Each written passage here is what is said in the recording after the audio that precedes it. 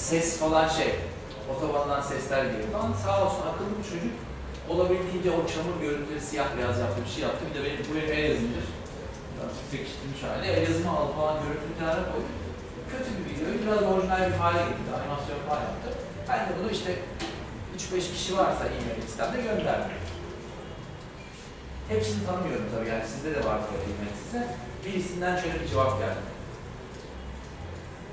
Ben de neden bahsettiğini söylemek için ileri gitmem gerekecek. Üç tane özellikten bahsediyorum.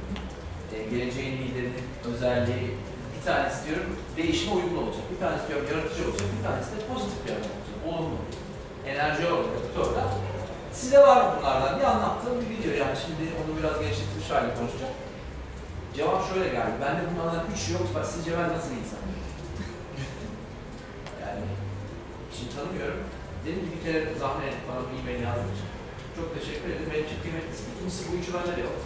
Yani o hani o şöyle bir şey. Anlatmaya çalışacağım şeyler, demesi kolay, yapması zor şeyler. Ee, keşke üçü de bende de olsaydı. Keşke üçü de hepimizde olsaydı. Bu kadar yaygın olsaydı. Genelde zaten bu tarafa geçişim 6 sene bitti şimdi yılbaşıyla beraber 7 sene geçecek. Hep konuşuyorum da hani acaba uygulayabiliyor muyum? O tarafta çok ciddi soru işaretleri var. Kadar kolay olsa hepsini. Yani esas konu şu ben burada kendimi tedavi ediyorum. O da çok net söyleyeyim. Yani hikaye şey öğrenmeye çalışıyorum. Anlatırken öğreniyorum. Öyle bir şey var. Herkes bunu yapamıyor. Ee, herkes bunu yapıyor. Her anlattığını çok iyi yapıyor falan. Şey var, sosyal medyada falan acayip pozitif şeyler paylaşıyorum. İnsanlar şey der. Aa işler çok iyi galiba, uçuyorsunuz falan. yok yani, yani insanım, çak, çakılıyoruz ama çakıldığımız zaman da kimse yok bizi toparlayacak. Kendi kendimizi toparlıyoruz. E, öyle bir uçuş falan yok. Hayat bir işlerle, çıkışlarla, siklusla e, düşmez kalkmaz bir adam. Pek çok acayip parlak iş fikirleri gördüm. E, 26. senem bitti, şimdi 27. seneye giriyorum. 20 sene, 27 güzel bir sene olsa gerek. Vasat insanların elinde o parlak iş fikirleri söndü. O yüzden vasata tahammülüm yok. En ufak şeyde bile.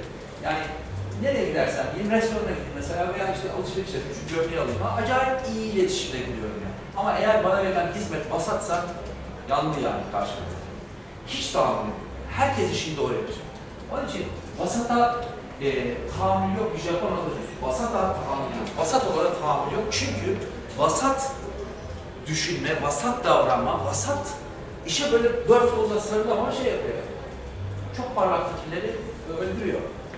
Öte yandan böyle sıradan fikirlerin ışıldadığına, çünkü parlak insanların ilgili ışıldadığına görüyorum ve başarı hikayeleri görüyorum.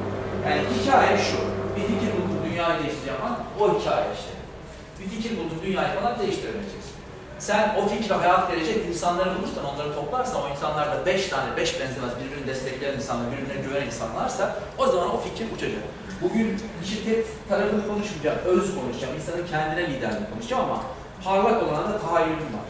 Vasat olana tahammülüm yok, parlak olana da tahayyülüm var. O sıradan fikirleri parlatan insanlara hayranım, onlardan bazılarını konuşacağım.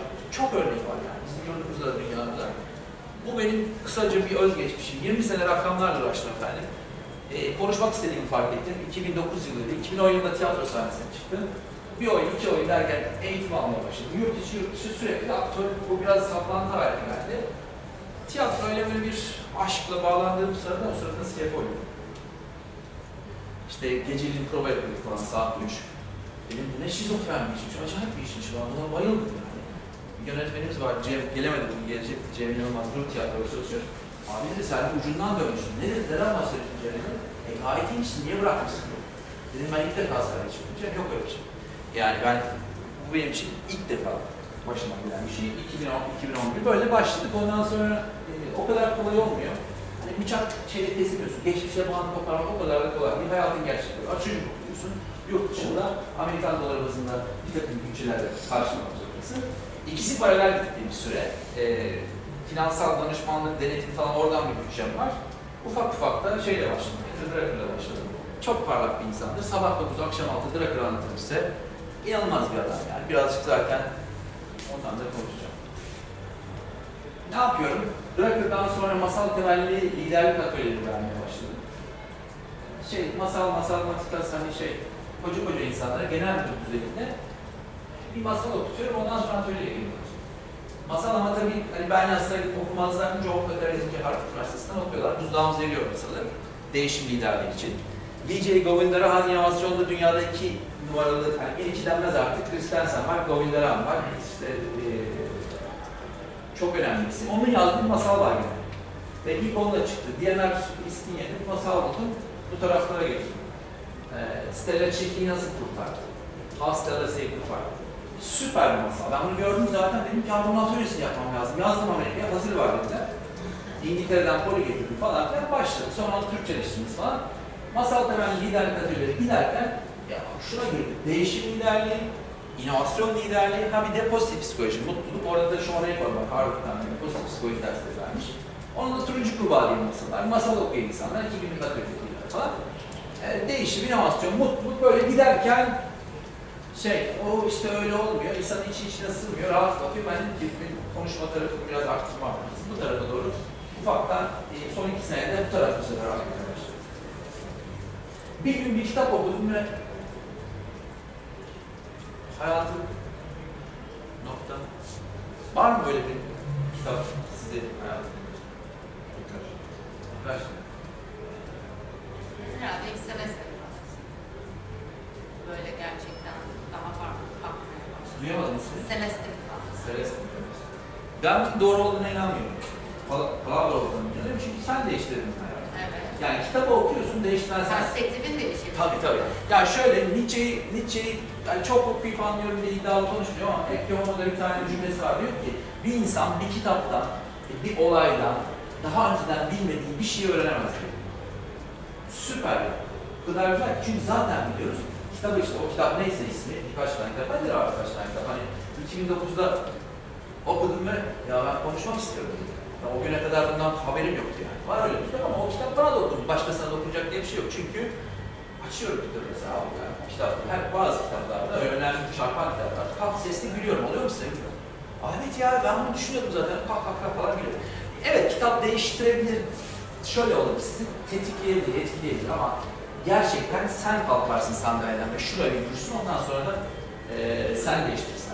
Kitaplara falan insanlara bel bağlamak lazım. Bugün 77 dakikada böyle bir şey beklentisi olmasın kimsenin.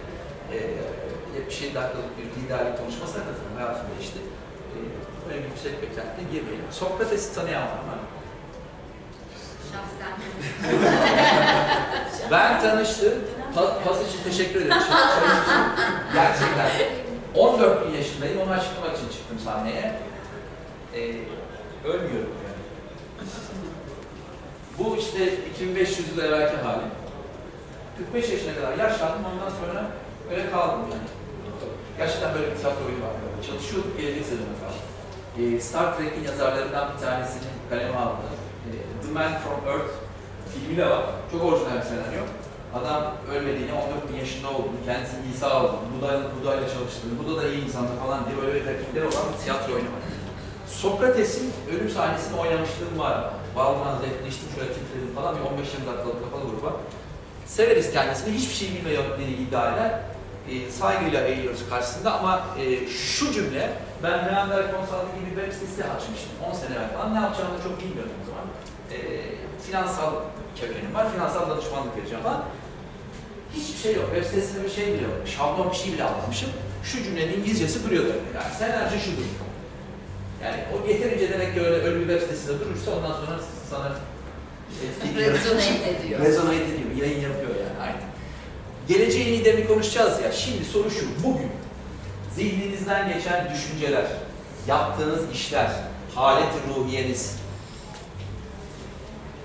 yüzde kaçı şimdide ve geleceğe doğruydu, yüzde kaçı şimdiden geriye doğruydu? Bir düşünün.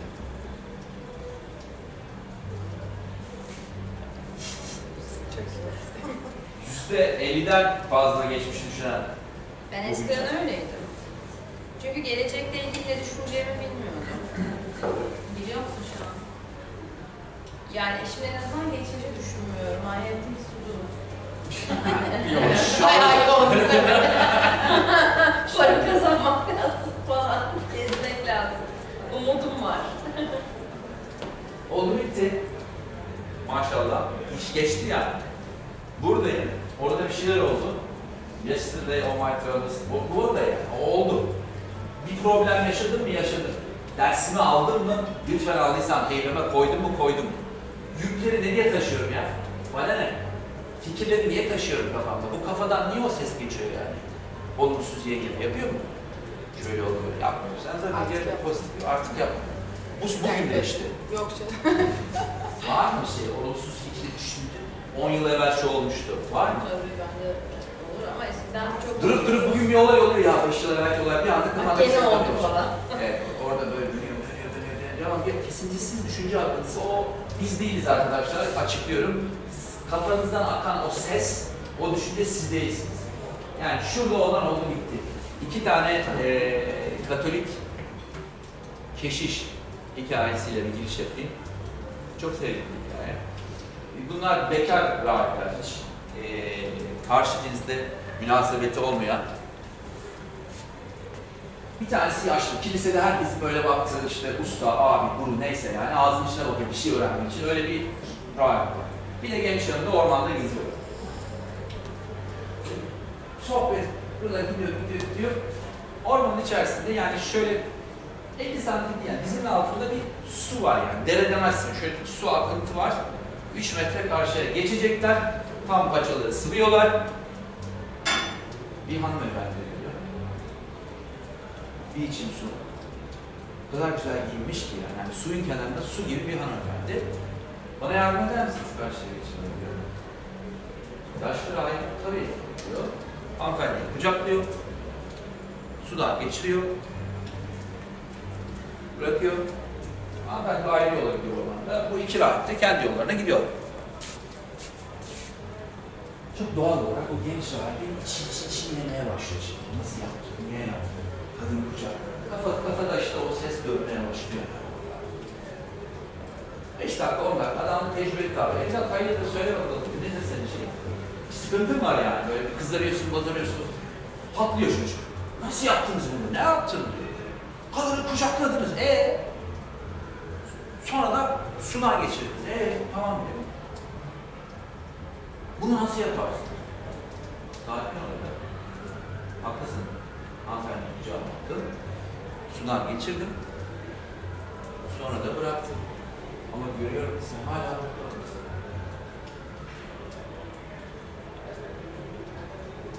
Bırak şu kadını ya.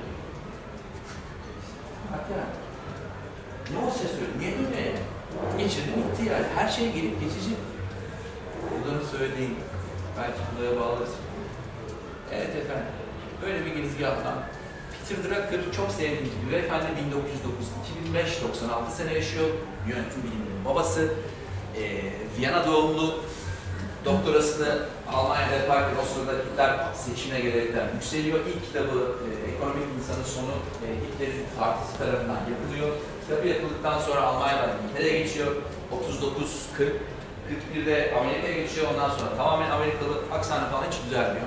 O Arnold Schwarzenegger aksanıyla bütün ömür boyu. Ama şöyle bir adam, yönetim dersini müfredata üniversitelerde sokan adam. 1950 ile 71 arasında New York Üniversitesi'nde antimantili havuzu boşaltıyorlar, sandalye koyuyorlar. Binlerce öğrenci aynı anda ondan yönetim öğrenecek. Yazdığı kitaplar ölümsüz. Ben değişim liderliği yapıyorum mesela Kotel'den. Hala Drucker'ın işte 50 sene evvel. 1967 yazdı, efektif etkili yöneticiyi sağlıyorum. İşte timeless İngilizcesi zamansız dedim. Desen olmuyor. Zamana da- dayanıyor, direniyor, hiç, hiçbir zaman değerini kaybetmiyor falan diye anlatıyorum. İki hafta evvel atölyede birisi güzel bir şey söyledi. Kemal Sunal dinledim hocam. Evet yani, hiç, yani seyredersin, okursun orada yani. Bir başucu kitabı. Benim bugün yöneticiyim yani, liderim diyen adam muhakkak bu kitaba bakacak yani. 1985'te yazmış inovasyon ve girişimcilik ve ben işte inovasyon anlatacağım burada. O kitap hala geçerli. 2000'li yıllardaki bütün inovasyon kitaplarını okuyamasam da elime geçeni ve okuyabildiğim kadar iyi olanları okuyorum. Çürüten hiçbir şey yok. Baba her zaman felsefeyi koymuş. Ee, Management for Objectives yazmış. Onu kimse bilmiyor. Herkes Robert Kaplan'la yatıp Robert Kaplan'la kalkıyor. Bana skortlar var. Felsefeyi adam. Geleceği tahmin etmenin en iyi yolu onu kendi ellerinde yaratmaktır. Hadi yaratalım şu geleceği. Üç tane soruyla başlıyoruz. Üç tane özelliğini düşünüyorum. Bir tanesi yaratıcı olması, bir tanesi değişime uyumlu olması, bir tanesi de pozitif, olumlu kafa yapısı, düşünce yapısı, girişte anlattığım hikaye. Yaratıcılığın ne alemde, değişime uyumlu musun, zihninde dolaşan fikirler, zihninden dökülen sözler, olumlu. Güzel söyler. Şunlar benim en yazın bayram tatilinde böyle kendimce çizdim. Birazdan biraz daha açılacak. Her bir başlığın altında üçer madde daha çıkacak. Bakalım çıksın. Size bu akışta olumlu lider için üç tane alt başlık ileride göstereceğim. Uyumlu lider için, değişime uyumlu lider için üç tane başlık uydurdum. Ve yaratıcı, inovatif lider için de üç tane başlık uydurdum. Ee, onların üzerinden teker teker atacağız. Bu karakterler, dokuz karakter var burada. Her bir başlık için ben iki tane isim buldum. Hepsi aslında birden fazla maddeye uyan insanlar ama ben bazı maddelere, bu daha içime sinen maddelerde onları eşleştirdim. Başlayalım şöyle, yaratıcı lider, inovasyon olmazsa olmaz. İlk önce bir fikir doğacak ki, bir şey geliştireceğiz ki. Ondan sonra başarılı olacağız ki sonra değişmek zorunda kalalım. Neyi değiştireceğiz? Ortada bir şey yokken, kol yok, yumurta yokken değiştirecek bir şey yok. Dolayısıyla önce inovasyon ve girişimcilik. Bu arada 1985'te yazdığı kitabın ismi inovasyon ve girişimcilik. Hala inovasyonla girişimciliği yan yana kullanmıyor insan. Hala. 85'te yazmış. Monsieur Peter. Efendim, dirayetli savaşçı, çelik boksör, meraklı kâşi. Hemen sizi bu maddede, bakın şöyle 1, 2, 3, 4, 5, 6, 7, 8, 9, 10, 11, güzel bir takım kurdum. Şu sıfırdan 7'ye kadar bunu da öğrenmek istiyorum efendim. Yaratıcılığın ne halinde, şuradan ne tarafta hissediyorsunuz kendinizi? Ben sıfırım diyen var mı? Bir, iki, yani yedi çok olur. Ben acayip, Ben sıfır. ben sıfırım. Çok seviyorum. Bir tane olsun. Bir tane Hayır ben de Cesaret. Ben yaratıcılığım yok. yok? Ben acayip yaratıcı bir adam diyen var mı? Işıl ışıl ben sürekli ben şu anda fikir, bir fikirler geçiyor. Versem acayip bir iş fikirdir size falan coşarsın. Var mı? Çok. Var var. Ben, Evet. ben, Ben de- Aday gösteriyor. Aday Hissediyorum. gösteriyor. Sıfırım var, yedi var. Zaten söylenmez. Birisini aday göstermesi lazım. Ee, yani bu, bu şöyle bir şey. E, şunu söyledim de soruyorduk çünkü ya diğer konuşmalarda. Yaratıcınız ne abi? İyi diyor. Yaratıcısın. evet yaratıcıyız ya. İyidir. Ne kadar yaratıcısın? O, bunu ölçmek kolay değil. Bu hakikaten skalayı, işte, tanımları falan ben de bilmiyorum ama en azından yani ben orta seviyede. Çok da yaratıcı değilim. Ortanın altı veya ortanın üstü neyse. Var mı kendini söylemek isteyen başka? Sıfır, Ben sıcağım. Sıcak. Yaratıcılar Beş. karşı sıcağım. Yani işte 5, şöyle, şöyle söyleyeyim, 11 kişiyiz ya, 5 ve yukarısı hisseden kimler? 1, 2, 3, 4, 5. Süperiz. E, 4 var mı? 4 nötral, 2 kişi nötral, 5. ben hakikaten bunların notunu alacağım çünkü güzel bir istatistik olabilir yani. Hiç, hiç fena fikir değil. Şuraya not alacağım. 5 kişi şey, olumlu, 5 kişi %50'nin üstünde, 2 kişi kendini nötr olduğunu düşünüyor. Geriye kalan 4 kişi onlar kendileri diyor. Ne işiniz var? Niye yaratıcılıktan yoksun olduğunu düşünüyorsunuz diye. Onlara bakmayın, onlar böyle konuşurlar da acaba ne sorsak ne yaratıcılık bugüne kadar? Yaratıcılık başlarsak. Ee, bir inovasyon grubuyla tanıştırarak sizi başlamak isterim. Gerçektir Black Book of Innovation'da Mount Rushmore of Innovation falan gerçekten resmi var. Ee, bilenleriniz biliyordur belki. Bir sözüyle orada aslında. Herkesin bir fikri vardır. Sözde gelsin. Ta ki yumruğuyla kadar. Bok! Tam şey ya. E, hakikaten tam işte girişimcilikle, e, inovasyonla bağlantılı bir şey. Bir ton çekiyor yumruk. Yani hikaye şu. e, şu o Allah o yumruklar bir korusun. Şuraya bir şeyler yazın. Efendim? Yırtabilir miyim? Ha, böyle daha iyi. Şöyle bir şey, e, burada olmayan sadece birkaç bir şey yazacağım. Çok fazla bir şey yazmayacağım. Çünkü bu konuyla ilgili kalem. Tamam. Evet. Şimdi, benim uydurduğum Türkçe kavramlardır. Yazdığım yazılarda var. İngilizceleri de söyleyeceğim. Literatürden böyle araklayıp Türkçe'de bu böyle denir deyip ondan sonra yazı yazıyoruz, çıkıyoruz ortaya. Ekmek teknesi diye bir şey uydurdum. İki günlük e, inovasyon atölyesinde performance engine diye anlatılıyor. Yani, yani bence bu. Bir de inovasyon takası diye bir şey uydurdum.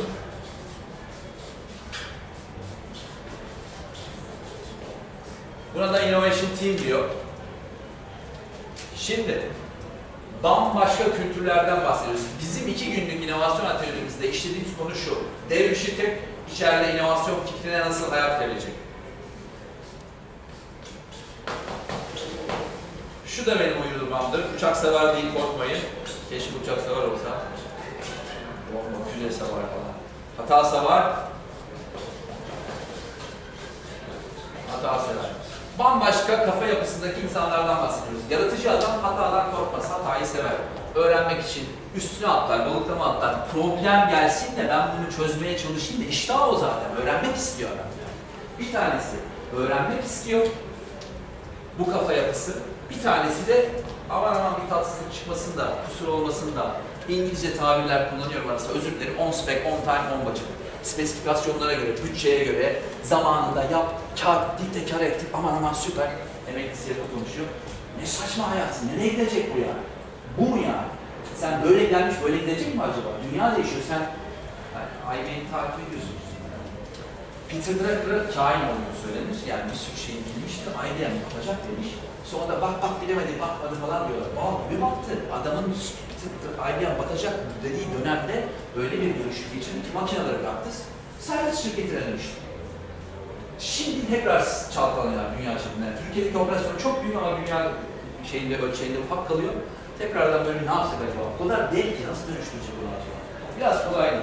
Birkaç tane örnek konuşacağız. Şu yumruğu yedin, ee, bir tane daha şey yazacağım, ondan sonra bu tarafı şimdi bırakacağım. Bu boksörlerden ilham aldığım bir şey.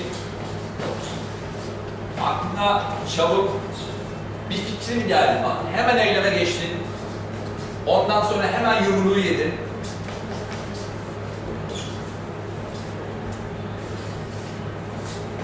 Aklına çevik, ayağına çabuk, kelebek gibi uçarım, çocukken kalkıyordu, siyah beyaz televizyonlar vardı, canlı yayın, Muhammed Ali Bey, kelebek gibi uçak manevrosu Yani bu boksörlerin hikayesi şey, evet. Kalktı. Cesaret, cesaret, cesaret ya. Önce cesur olacaksın, değil mi?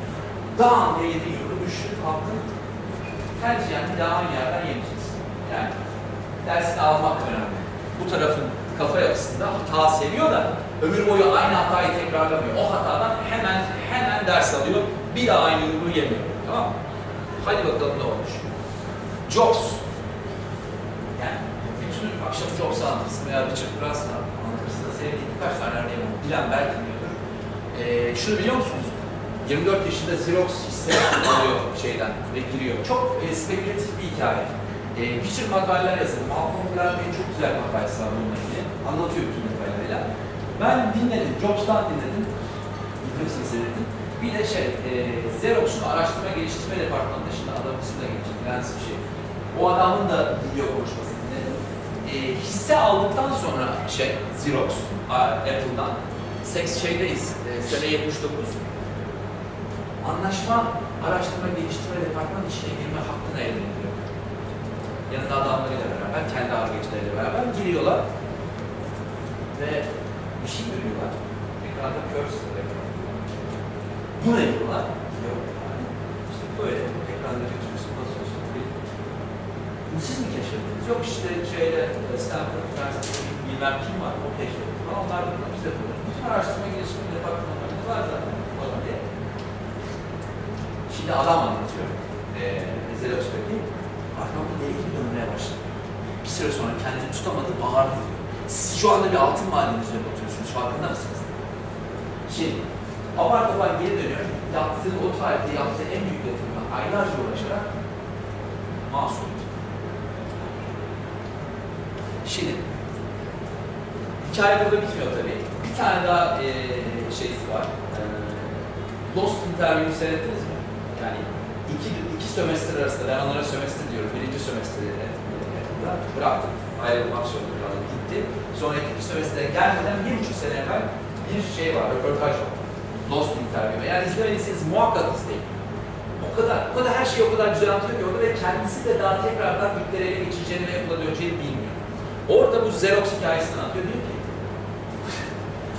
o tonel kafalılar, o arge departmanın içerisinde ki projelere hayat verselerdi IBM'i falan devirmişlerdi. IBM'i koy, Xerox'u koy, Microsoft'u koy hepsinden daha büyük olmuşlardı. Hepsini bulmuşlardı. PC ellerindeydi. Yapmadılar. Neden yapmadılar? Çünkü sevdikleri şey buydu. Çünkü ekmek teknesi buydu. Toner'den, e, fotokopi makinesinden para kazanıyorlar. Arge departmanında o projeleri öldürdüler. E, geliyoruz ekmek teknesi çok güzel biz bütçemiz fotokopi sattık, toner sattık, satmaya devam edelim. Adamlar geliştirmiş bilgiyi herkesten hemen çok örneği var. Polaroid'de de var yani. Herkesten de cep Polaroid şey. Dijital kamera yapıyor ama o bastığı kartlar var ya, oradan para kazandığı için. Abi diyor kar marjı buradan diyor. Boş ver diyor şey. Dijital kamera. Hadi yapalım. Ee, toner kafalılara selam olsun. Var mı Xerox'la? Türkiye Xerox'la var olmasaydı. Geç yakını çalışan falan. He? Var mı? Ruş bilmiyorum. Olur ya, hepsi Xerox'luymuş herkes. Ne diyorsun sen? Ee, şeye geçiyorum şimdi. Ee, Çelik boksörde iki örnek verdim. Meraklı kaşife geçiyorum. Yaratıcı liderin, geleceğin liderinin, yaratıcı liderin üç özelliğinden ikincisine geçtim. Bu çok bilinen bir sözdür. Ee,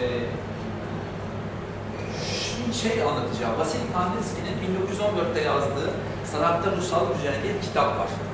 Ee, sene 1914 bu arada geçen şey e, 1881 doğumlu bu şey Picasso. 1973'te mi? Bayağı bir yaşıyor. 90 sene yaşıyor. 92 sene yaşıyor. 1881 doğumlu. 1911'deki Picasso'yu anlatıyor Kandinsky kitapta.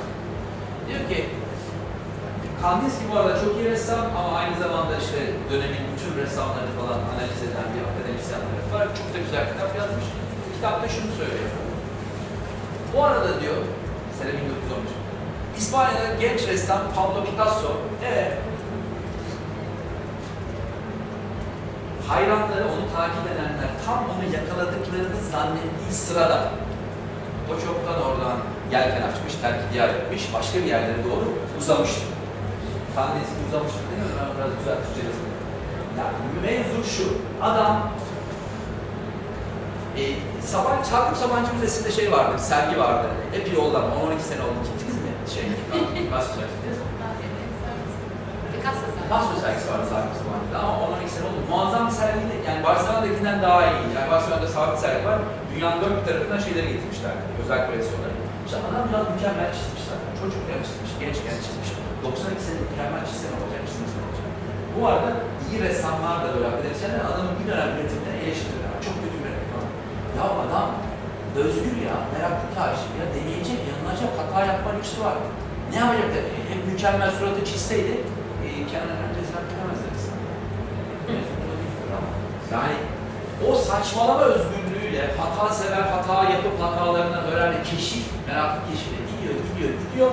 Onun arkasından böyle bir şey çıkıyor. Sonra da kübizm diye bir adam. Hoş geldiniz. Hadi bize kübik resim çizelim. Kübik olun hepimiz.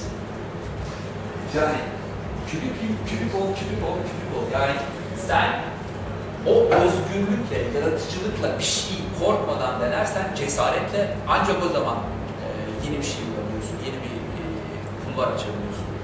Jobs'un hikayesi de öyle. Ya ve biz endüstri yıktık diyor. Kendimizi yıkacak bir ürün bulmazsak birileri yerimizi yıkacak. O yüzden koyuyorlar.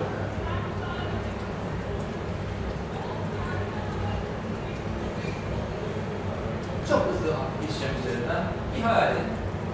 Uyandınız bir yerde, gözünüzü açtınız. Etrafınızda 7-8 kişi var. Veya işte böyle 10 kişi var etrafında. Hiçbirini tanımıyorsun. Daha da ilginci, konuşmaya başlıyorlar. Dediklerinden bir kelime bile anlamıyorsun. Nasıl hissedersin? Ee, şöyle, çok bir şey hissetmem. Zaten bunu yapmak için tek başıma yurt dışı turları yapıyorum. Hoşuna gidiyor. Evet. Anlamamak, onları Siz anlamamak. nasıl hissederdiniz? Yanlış seçmişim. Yabancı. Yabancı.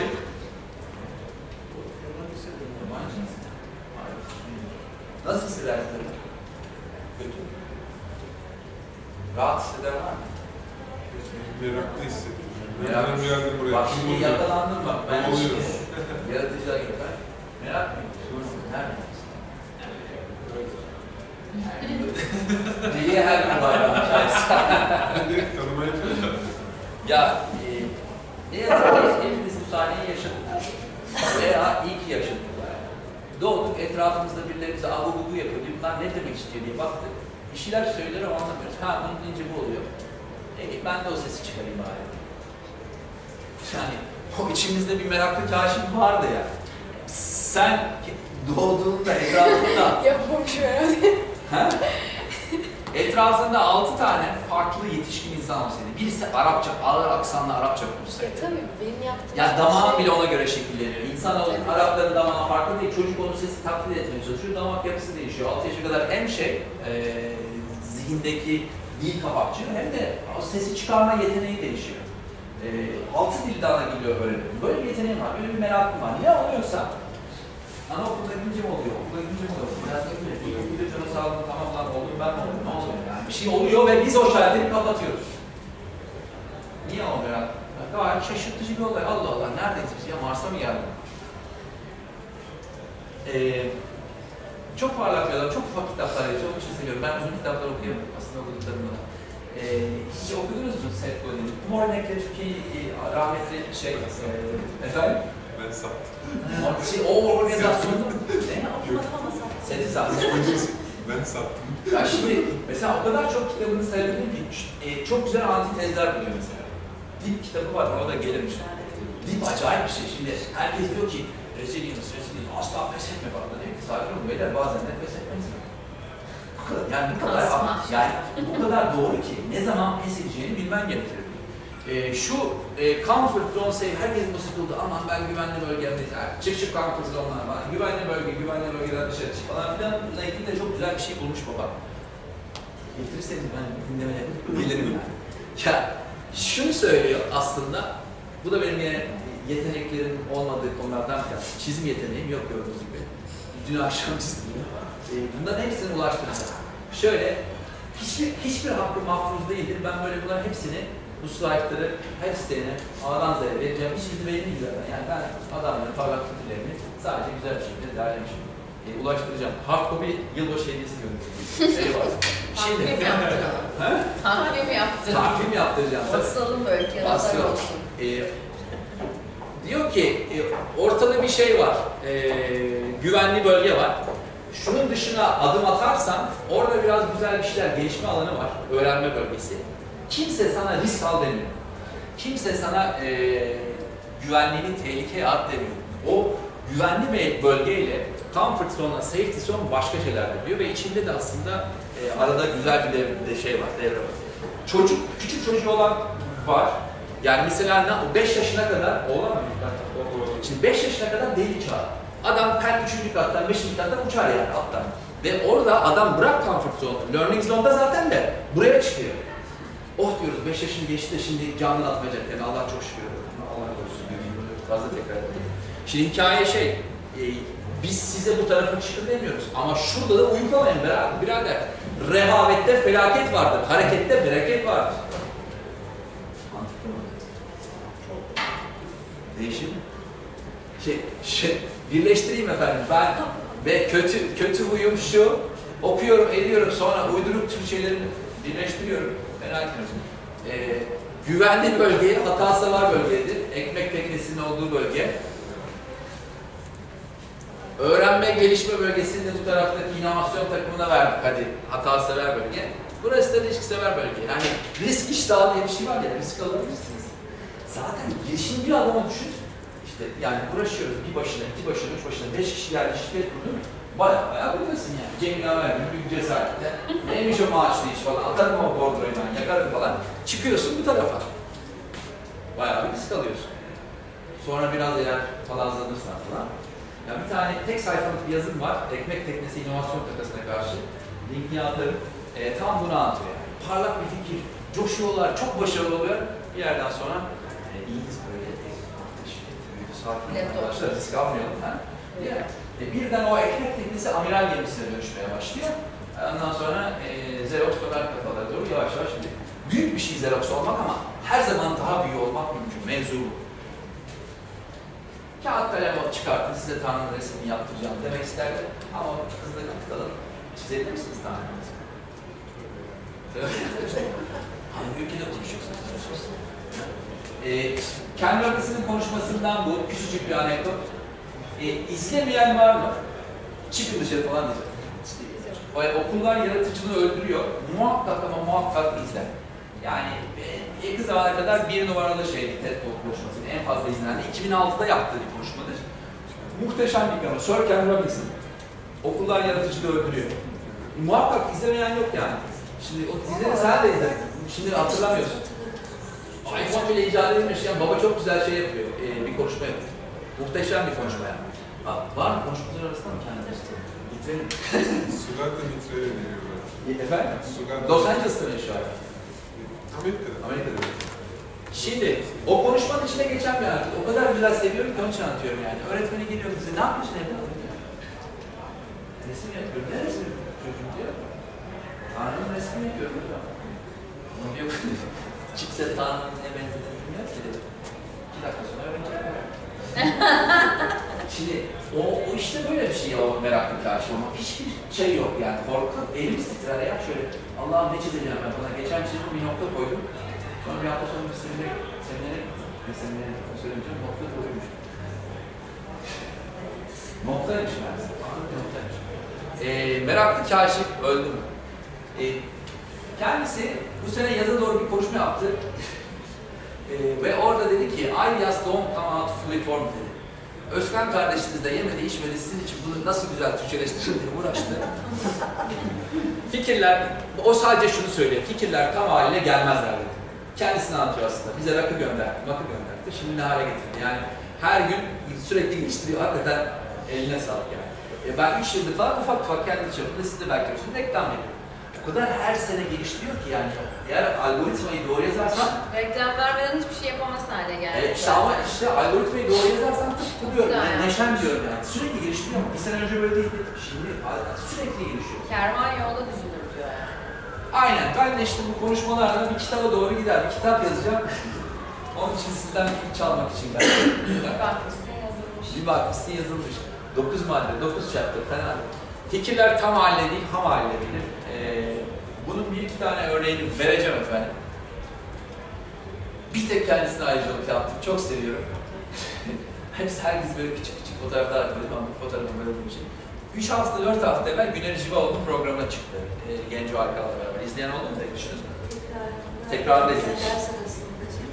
Ya ben e, izleyeceğim o 10 saniye falan klibi alıp buraya iliştirmem lazım. Arada kestik ve böyle Öyle güzel konuştuk yani. Hani gezdim ama güzel. Ağzını petten şiirler söylüyor yani. De söylüyoruz. Söyleyeyim. Ama Genco Arkal efsane. Tabii de o şöyle bir şey söyledi. Hakikaten şu cümleyi söyledi. Ben dedi bir senfoni yazarken dedi 15 saniyelik bir süresi için bin tane nota yazıyorum. Bütün enstrümanlar kafamda. Hepsini duyuyor baba. Aa, Muazzam bir yetenek ve acayip bir işçi yani. Ağır işçi aynı zamanda. İlham evet. Ama sen kaç saat, bir buçuk saat sürse çarp böyle yani kaç bin tane nota yazıyor değil mi? 15 saniyede bin nota bir dakikada 4 bin yaptı, bir saatte 240 bin yaptı gidiyor. Hı? Çılgın bir şey bu ya. Ee, böyle bir şey. Hadi caz yazabilirsen. Öğrendin notayı, do, re, alırsın. Şey var. Ee, e, Vas, e, Igor Stravinsky. Harvard'da e, 6 ders veriyor. Müzik üzerine fasikül fasikül Türkçesi de var. 645 bir çevirmişti. Türkçe'de de kitabını buldum okurken aynen bunu söylüyor Stravinsky. Ders, ders notlarında Harvard'da Fransızca vermiş dersi. Rus olmasına rağmen enteresan bir şey ama kitap Türkçe. Korkmayın. Hikaye şey, şunu söylüyor aynen baba. Ee, ha evet evet ilham geldi öyle senfoni gökten indi. Elbette bir ilham var diyor ama deli gibi çalışarak onu senfoniye dönüştürüyorsun diye.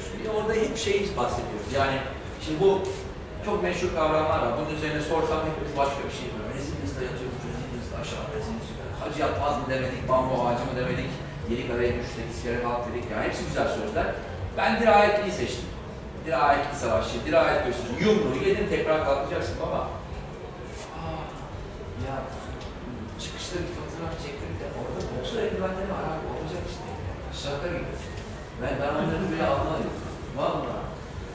Çelik boksör. Öyle yani fikirler, senfoni tam olarak bilmiyor yani ilhamla. Ee, her mevzuda durum bu. İş hayatında da, özel hayatta da bir şey yapmak istiyorsan gerçekten gün be gün ileriye doğru akacaksın. Ee, ikinci başlığa geçtim. Yaratıcıyı konuştuk. Yaratıcının altında üç tane başlık konuştuk. Çelik boksör, dirayetli savaşçı ve meraklı çarşı konuştuk. Değişime uyumlu lider. Bunu böyle yazdım. Ya, uyumlu yani falan diye anlaşılmasın. Uyumlu lider. O değil. Ee, bana değişimci diye bir kelime yok Türkçe'de. Yaratıcı var. Değişici de yok. Yani demir bükücü de yok. Yani bükücü, zaman bükücü var. Değişime uyumlu dememek için tek kelime uyumlu dedim. Ee, bunun üç tane alt başlığı var. Şimdi onların üzerine açacağım. Gene ikişer tane şahslı, nevi şahsını nasıl bir insanla gireceğim. Kuş uçuşu pilot, evsiz yörük, tuttuğunu koparar, gelsin. Kim bu ya öyle diyemiyor. Evet, size gene zor bir testte tabi tabi tutabilirim. Sıfır. Hiçbir fikrim yok. Değişime uyumlu musun? Ben değişirim. Aramızda Nisan ayında atölye almış olanlar var. Ben burada yüksek not bekliyorum. Bir şey söyleyeceğim. Fikrim yok diyenlerin sıfır olması. Hiç fikrim yok. Ne yani o fikri olmayana... Beş olmalı fikrim yok. Ne? Ha, ne- Değişime uyumlu musunuz? Değişti. Değişime Tabii değişti. hemen değiştiririm. Aç şimdi bilgisayarı açıp değiştiririm. Yani Nasıl çünkü olsun? Bir daha bir seferde fikri var. o çünkü alakasız yani. Not available o. Not effective oluyor. Yani ben, Evet. ben ne dediğinizi anlamıyorum falan anlamında düşündüm ben ama. Ha evet. O yüzden. Fikrim yok şöyle. Değişim mi? O ne demek? Ha, ben öyle hissediyorum. Ben Ha. kafamda o ses Yani geçti yani. skalada ben onu sıfıra koymadım yani. Ya- yani belki fikri olsa çok uyumluyum diyecek.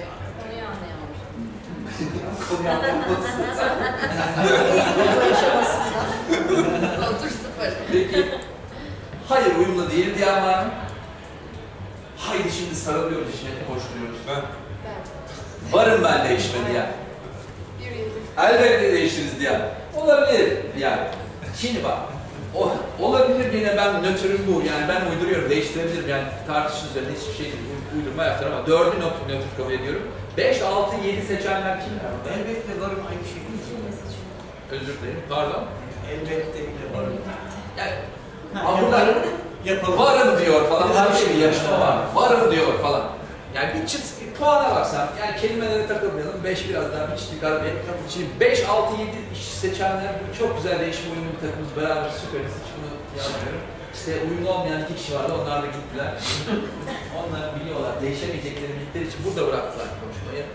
Efendim kuş uçuşu pilot. Burada neden bahsediyoruz? İngilizce'de helikopter view diye geçiyor. Bizde kuş bakışı diye güzel bir laf var. Benim atölyeye katılanlardan bir tanesi kızınca bir anlatırken kuşbaşı dedi. O günden beri ben kuşbaşı diyorum. kuşbaşı. Ee, kuş uçuşu. Şimdi Drucker'dan güzel bir şey anekdot. Ee, do the right thing. İşi doğru yap. Ama ara sıra dön bir bak bakalım şu işe. Doğru işini yapıyorsun. Asla yapmaman gereken bir işi mükemmel yapmak kadar enayice bir şey yoktur. Kızım sana söylüyorum oğlum sen.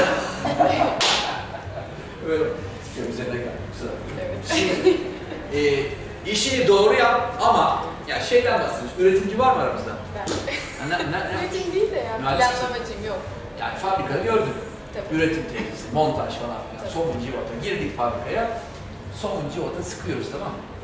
Yarım mamul, mamul yaptık. Ambara koyduk. Ambarda ürünler var. Çıkıyoruz bütün ürün gamımız var. Biz ne menen bir şirketiz. Kendi şirketimize tepeden baktık. Yetmedi sektöre baktık. Yetmedi başka sektörlere baktık. Başka yani ben eee bankacıysam McDonald's'tan öğreneceğim bir şey var. E, bunun üzerine binlerce makale bulabiliriz. Baktık hepsine. Uzaya da çıkabiliriz yani. Çık çık nereye çıkalım? Sürekli kuş uçuşu, değil o. Yani sürekli böyle ben yukarıdan bakıyorum. Yok kolları sıvayacaksın, fabrikaya gireceksin, üretim yapacaksın. Ama ara sıra, hele ki bu dünyada, bu kadar hızlı değişen bir dünyada ara sıra yaptığımız işe dışarıdan şöyle bir bakın. Acaba doğru iş mi yapıyoruz? Bu özel hayat, iş hayatı fark etmez. Daha farklı morine, daha farklı bir şey e, olabilir mi acaba? Hep de yani bildiğimiz sıradan ineklerin yaşıyoruz. Acaba bir morine bulabilir miyiz? Parmak gibi onlardan bakarız. Ne kasıp kovmuştuk. Ölen nasıl doğasını oradaymıştık. Yani iyiydi ya ben. İlk kitap çok iyiydi. İkinci kitap çıktı. Editör olmamıştı. Ben de o zaman ne kongreler kongreler sildiler. Acayip değil mi? Çok Marka büyük şey. konferansları. Yani Morinek yıkıl, yıkılıyordu. 2002-2003 falandı o aralar. As yapalım bir de şuna bakalım. Kuş uçuşu bile. Bu çok sevdiğim bir anekdot. Ee, 1900 kaç gene çok eskilere gidiyor. 5 Temmuz 1991. Ben beyanlarındayım babaları. Anne çok önemli. Vallahi de billahi de anne çok önemli. Bu Bill Gates dediğimiz düdük makarnası gerçekten annesi olmasa Warren Buffett gibi bir babayla tanışamayacak. Şimdi annesi acayip sosyal bir kadın. O Buffett'a diyor ki gel ben oğlana getireceğim diyor. Yemeğe çağırıyor. Bu da böyle bırakamam ben Microsoft dünya dev olacağım falan diye deli gibi çalışırken akıllı ya. Gelemem ben diyor. O diyor diyor zaten borçlasın sen. Ben ondan hiç ortak fikrim olamaz falan filan. Bir tokat yiyor tanıştıkları anda. İlk başta şu ama ilk tepkisi şu. Bana üç tane soru sordu diyor. Lan işte tam kullanılmıştır. Tam bir borsa sim- simsarıyla karşı karşıya diye düşündüm. Sonra bir anda dışarı çıkıp sohbet edip bakınca anladım ki aslında sorulabilecek en doğru soruyu soruyor. Adam müthiş bir yatırımcı. Berkshire Hathaway yani bütün servetinin yüzde birini oğluna bırakacak. Oğlu dünyanın sayı zenginlerinden olacak. Hepsini vakıflara belki bir giysin vakfına falan bırakacak. Yatırımcı adam. Ama kuş uçuşu pilot var ya, Bill Gates tabii ki o dönem 1991 patır patır büyüyen bir adam. Ondan çok kritik soruları soruyor. Ben acaba bu sektöre, bu şirkete yatırım yapayım mı yapmayayım mı? Bu kadar basit. Şu, zamanı kıymetli adam.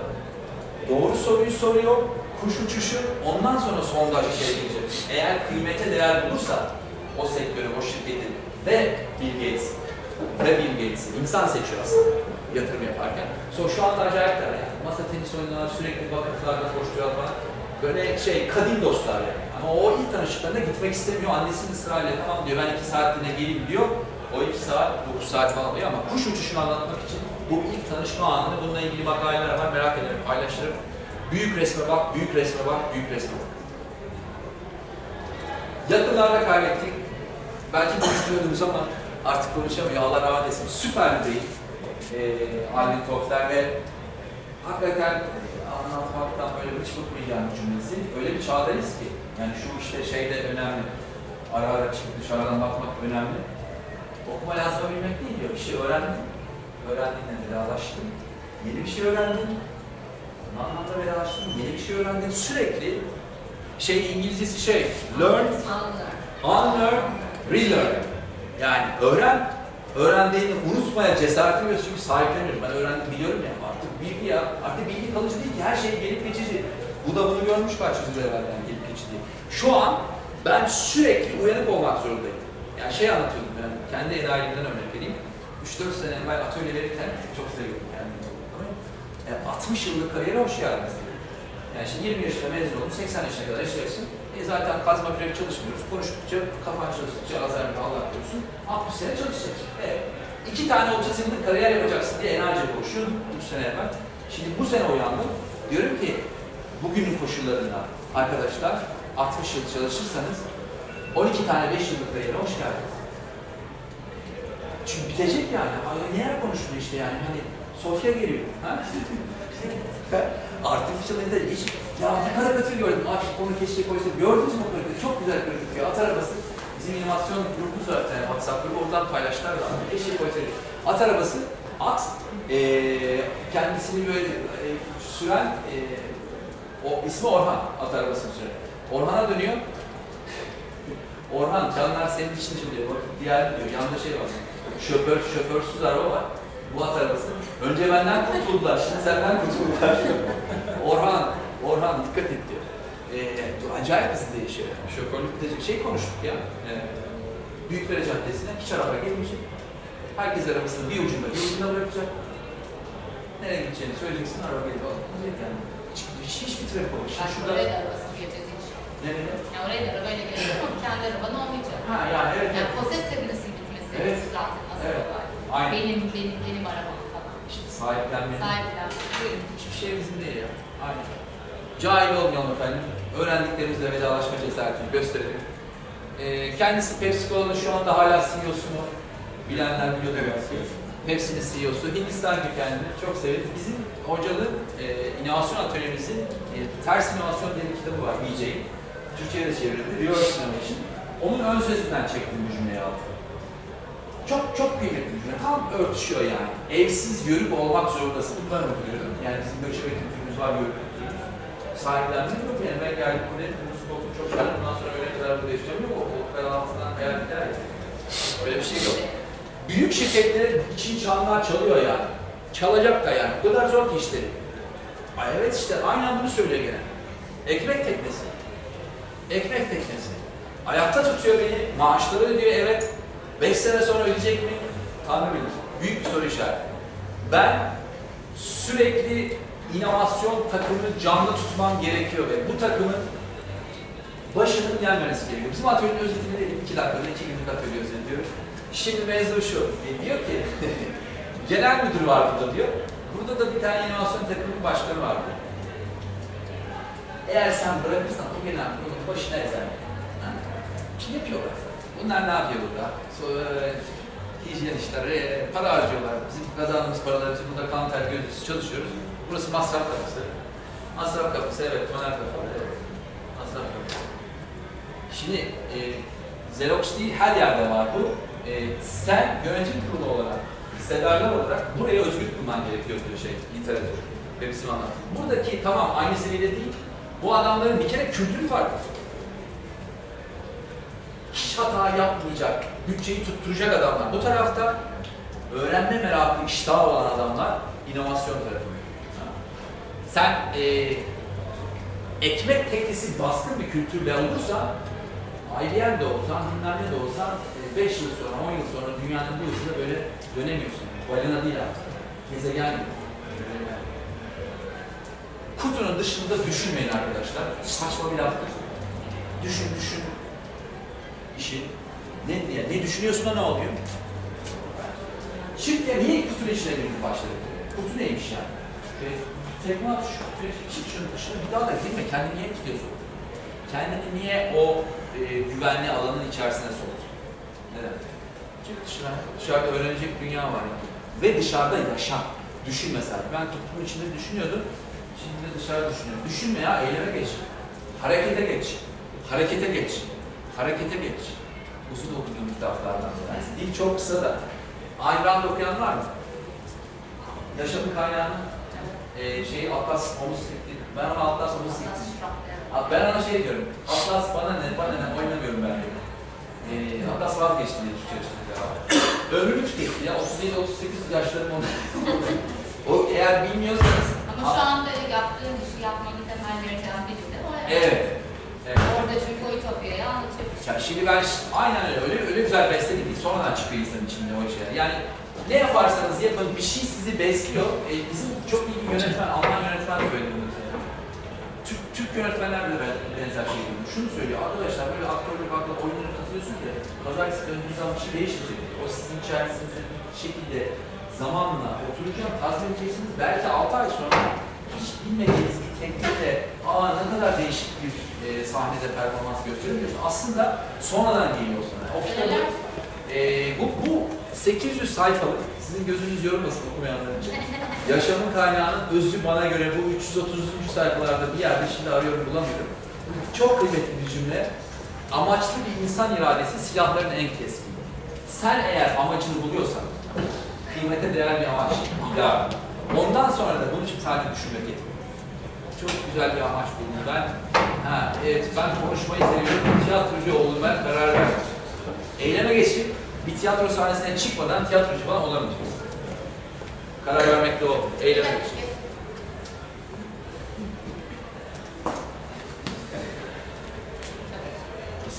Ya yol, e, demin galiba siz bu arada değilken yollayacağım, şey- güzel bir slide deck size. Yollayacağım. Belki bu akşam bunu okuyacağız. Tamam, e, süper bir şey. Belki e, burada birkaç tane de bir şey gelir. Bak bak neler şimdi. Bunu biliyor musun? Sagittarius efendim, Orion takım yıldızı. Ok çeken adamdır. Ve aslında ok atmış olan var mı? Üniversitedeyken bir üç sene falan. Şöyle bırakırsın oku, tam bırakma anı şey. Kol böyle gider. E, Ok, ok yarışmalarını izleyin. Tutarsın şunu bıraktıktan sonra şöyle el arkaya doğru gider. İnanılmaz bir şey. Takım yıldızının dizilimi yay, şu, şu kol profesyonel okçuların oku bırakma anı. Amacını buldun, hedefe doğru yayını geldin. Fazla tutarsan zaten duramazsın. O kaslar titremeye başlar biraz sonra öyle gider. İdeal zamanda da o "Ah, tutma şu oku yayında ya, fırlat gitsin ya. Ne diyor şey? Halil Cibran çocuklarla ilgili söylüyor. Çocuklarınız diyor, sizler anne babalar yaysınız çocuklar sizden ileri doğru fırlatılmış oklar da pek fazla uğraşmayın, pek bir şey yapamazsınız. Onlar kendi hayatlarını biliyorlar.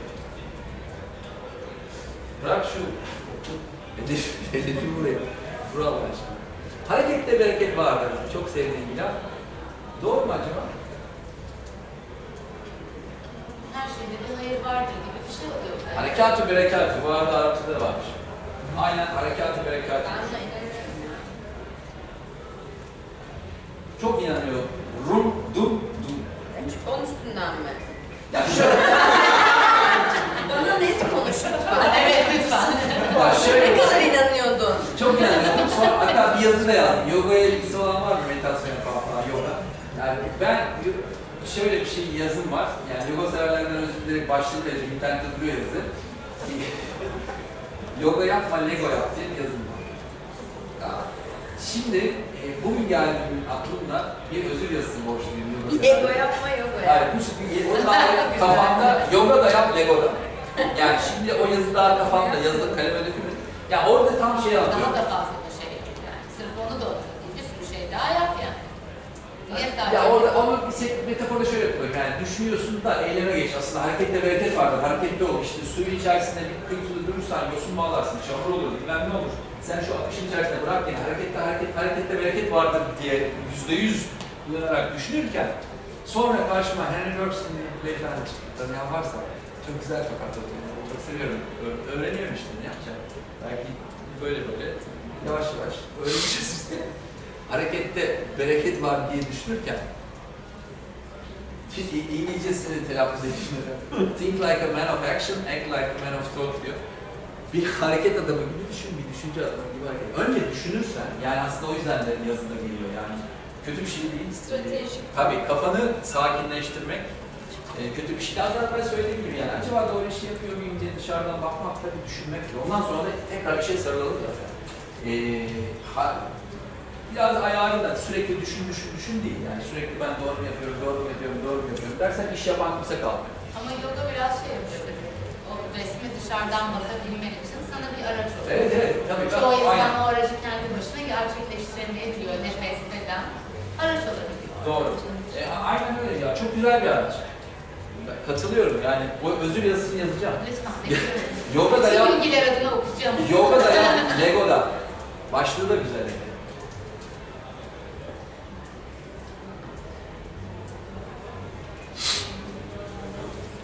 Bu beyefendi şu iki kelimeyi sevmiyorum. Yani bu akşam buradan çıktıktan sonra özellikle benimle yeni tanışanlar kişisel gelişim adına çok güzel bir saat, buçuk saat geçirdik derseniz sizi bir daha tanımam. Gerçekten tanımam. Bu beni rahatsız eden iki kelimedir. Ee, personal development, persona Latince'de maske demektir. Tiyatroda kullanılan maskedir. Ben maskelerin gelişimine karşıyım. Özünüzü geliştirecekseniz varım. Bireyi geliştireceksek varım. Individual ve birey, bireyin TDK'daki tanımına bakın. Aynen individual'dan aynı. Individual, daha fazla ikiye bölünemeyen demek İngilizce'deki birey. Bireyin TDK tanımı da aynı şeyi söylüyor. Tam özden bahsediyor. Öz gelişim, bireysel gelişim falan bunlar varım. Özüme liderlik, birey, birey olarak ben ama persona, e, maske falan onu yapmayalım. Ama başımızda bu işi açan, literatürü yaratan beyefendimiz, müsebbibi Earl Nightingale'dir. Columbia Records'ta falan plakları falan filan çıkmış.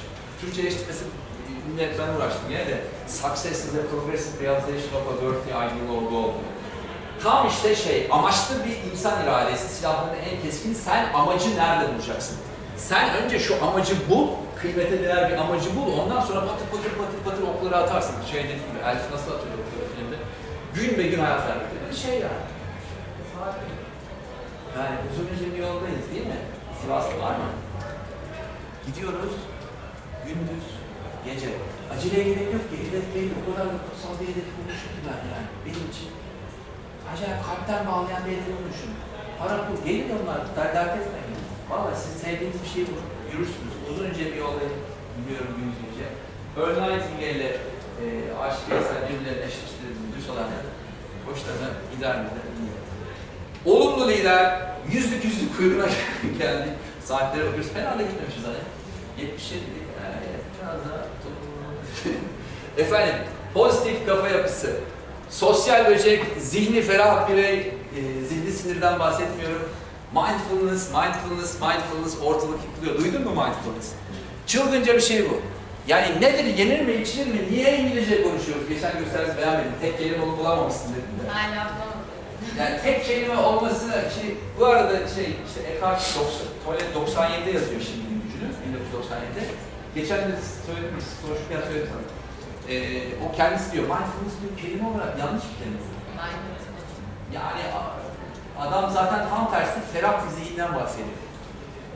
Sosyal böcek, en sevdiğimiz pozitif yayın yapan dealara ihtiyacımız var. Dünyada bu kadar problem varken, negatif deadan bol bir şey yokken, çevremizde, sosyal çevremizde, şirketlerde, ülkemizde, dünyada hani çıldırmış haldeyken bizim birazcık daha pozitif dealara ihtiyacımız var. Onların da böyle e, böcek böcek yayın yapmasını istiyoruz. Biz de onlardan olmak istiyoruz. E, en sevdiğimiz senaryo da şöyle bir şey. Farkındasınız ya da değilsiniz. Yani yazdığınız, çizdiğiniz bir senaryonun başrolünde oynuyorsunuz. Memnun musun senaryo? Bu mudur yani? Ben yaptım memnunum. Süper. Ee, hayranım. Ee, albüm çıkarttı. Şimdi ikinci albümle uğraşıyor. Ee, şeyiz, takipçisiyiz. Christian Abdullah. yani bir şey yapmalı ya. Moğolları çok seviyorum ama bir şey yapmalı, bir şey yapmalı. Şarkı çok güzel. Ama ne yapacağımızı söyleseler daha iyi olacaktı ya. Bir şey yapmalı, bir şey yapmalı. Eyleme geçmek önemli. Yani birazcık aslında bodoslama biraz da dalacaksın. Korkma ya, cesur ol. Hata yap, ne olacak ki? Ne kaybedersin? Ne kaybedersin? insanlar konuşuyor. Bak bu sefer ben uydurmadım. Gerçekten e, kitapta burada inanmayana tercümesini ben yaptım. Tamam. Şimdi yani eğer bu pozitif psikoloji diye bir bilim varsa getirirseniz sevinirim yani. Yakın coğrafya Avrupa'ya falan getirirseniz ben gideriz. Martin Seligman baba, otantik hepiniz pozitif psikoloji biliminin babası. Öyle komik anlatıyor ki Mihail sen Mihail'i aradın, onu aradım, biz bir Ocak ayında toplandık, ha, oturduk manifestomuzu yazdık. O baba toplanıyorlar, üç tane dev adam. Yılbaşında program var mı diyor, şey diyor, Mihail, Mihail diyor, yok abi diyor, Mihail serbesttir diyor. Bir araya gidiyorlar. Mihail sen Mihail'i, e, flow biliyorsun. Flow biliyor musun? Muhabbet öğreniniz. Ha? Flow teorisi.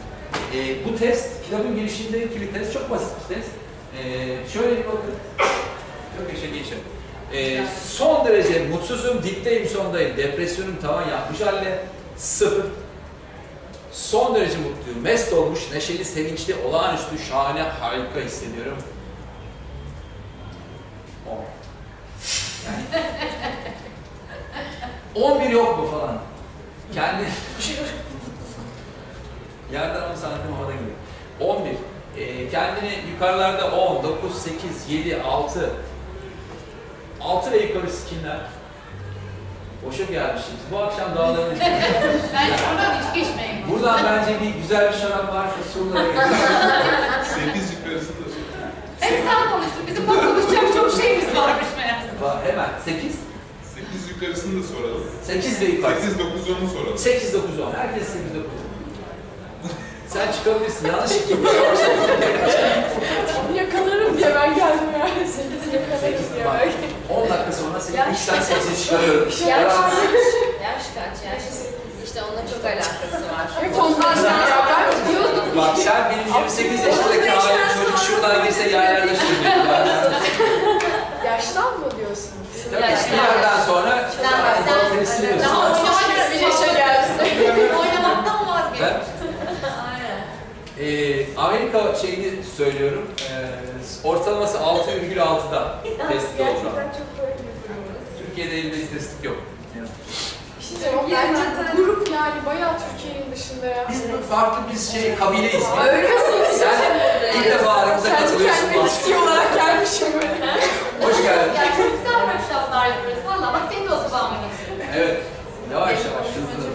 Efendim, çok seviyoruz kendisini. Bu slayttan başka bir şeye ihtiyacı Ay yok. Bak, çok güzelmiş. Tolstoy söylüyor bak, ben söylemiyorum. Zaten Bir çıkıyorum. ben de şöyle. Dur dur dur Dur dur. Valla. Evet dur lütfen. Çünkü senin fotoğrafın da çekilmedi. Şöyle.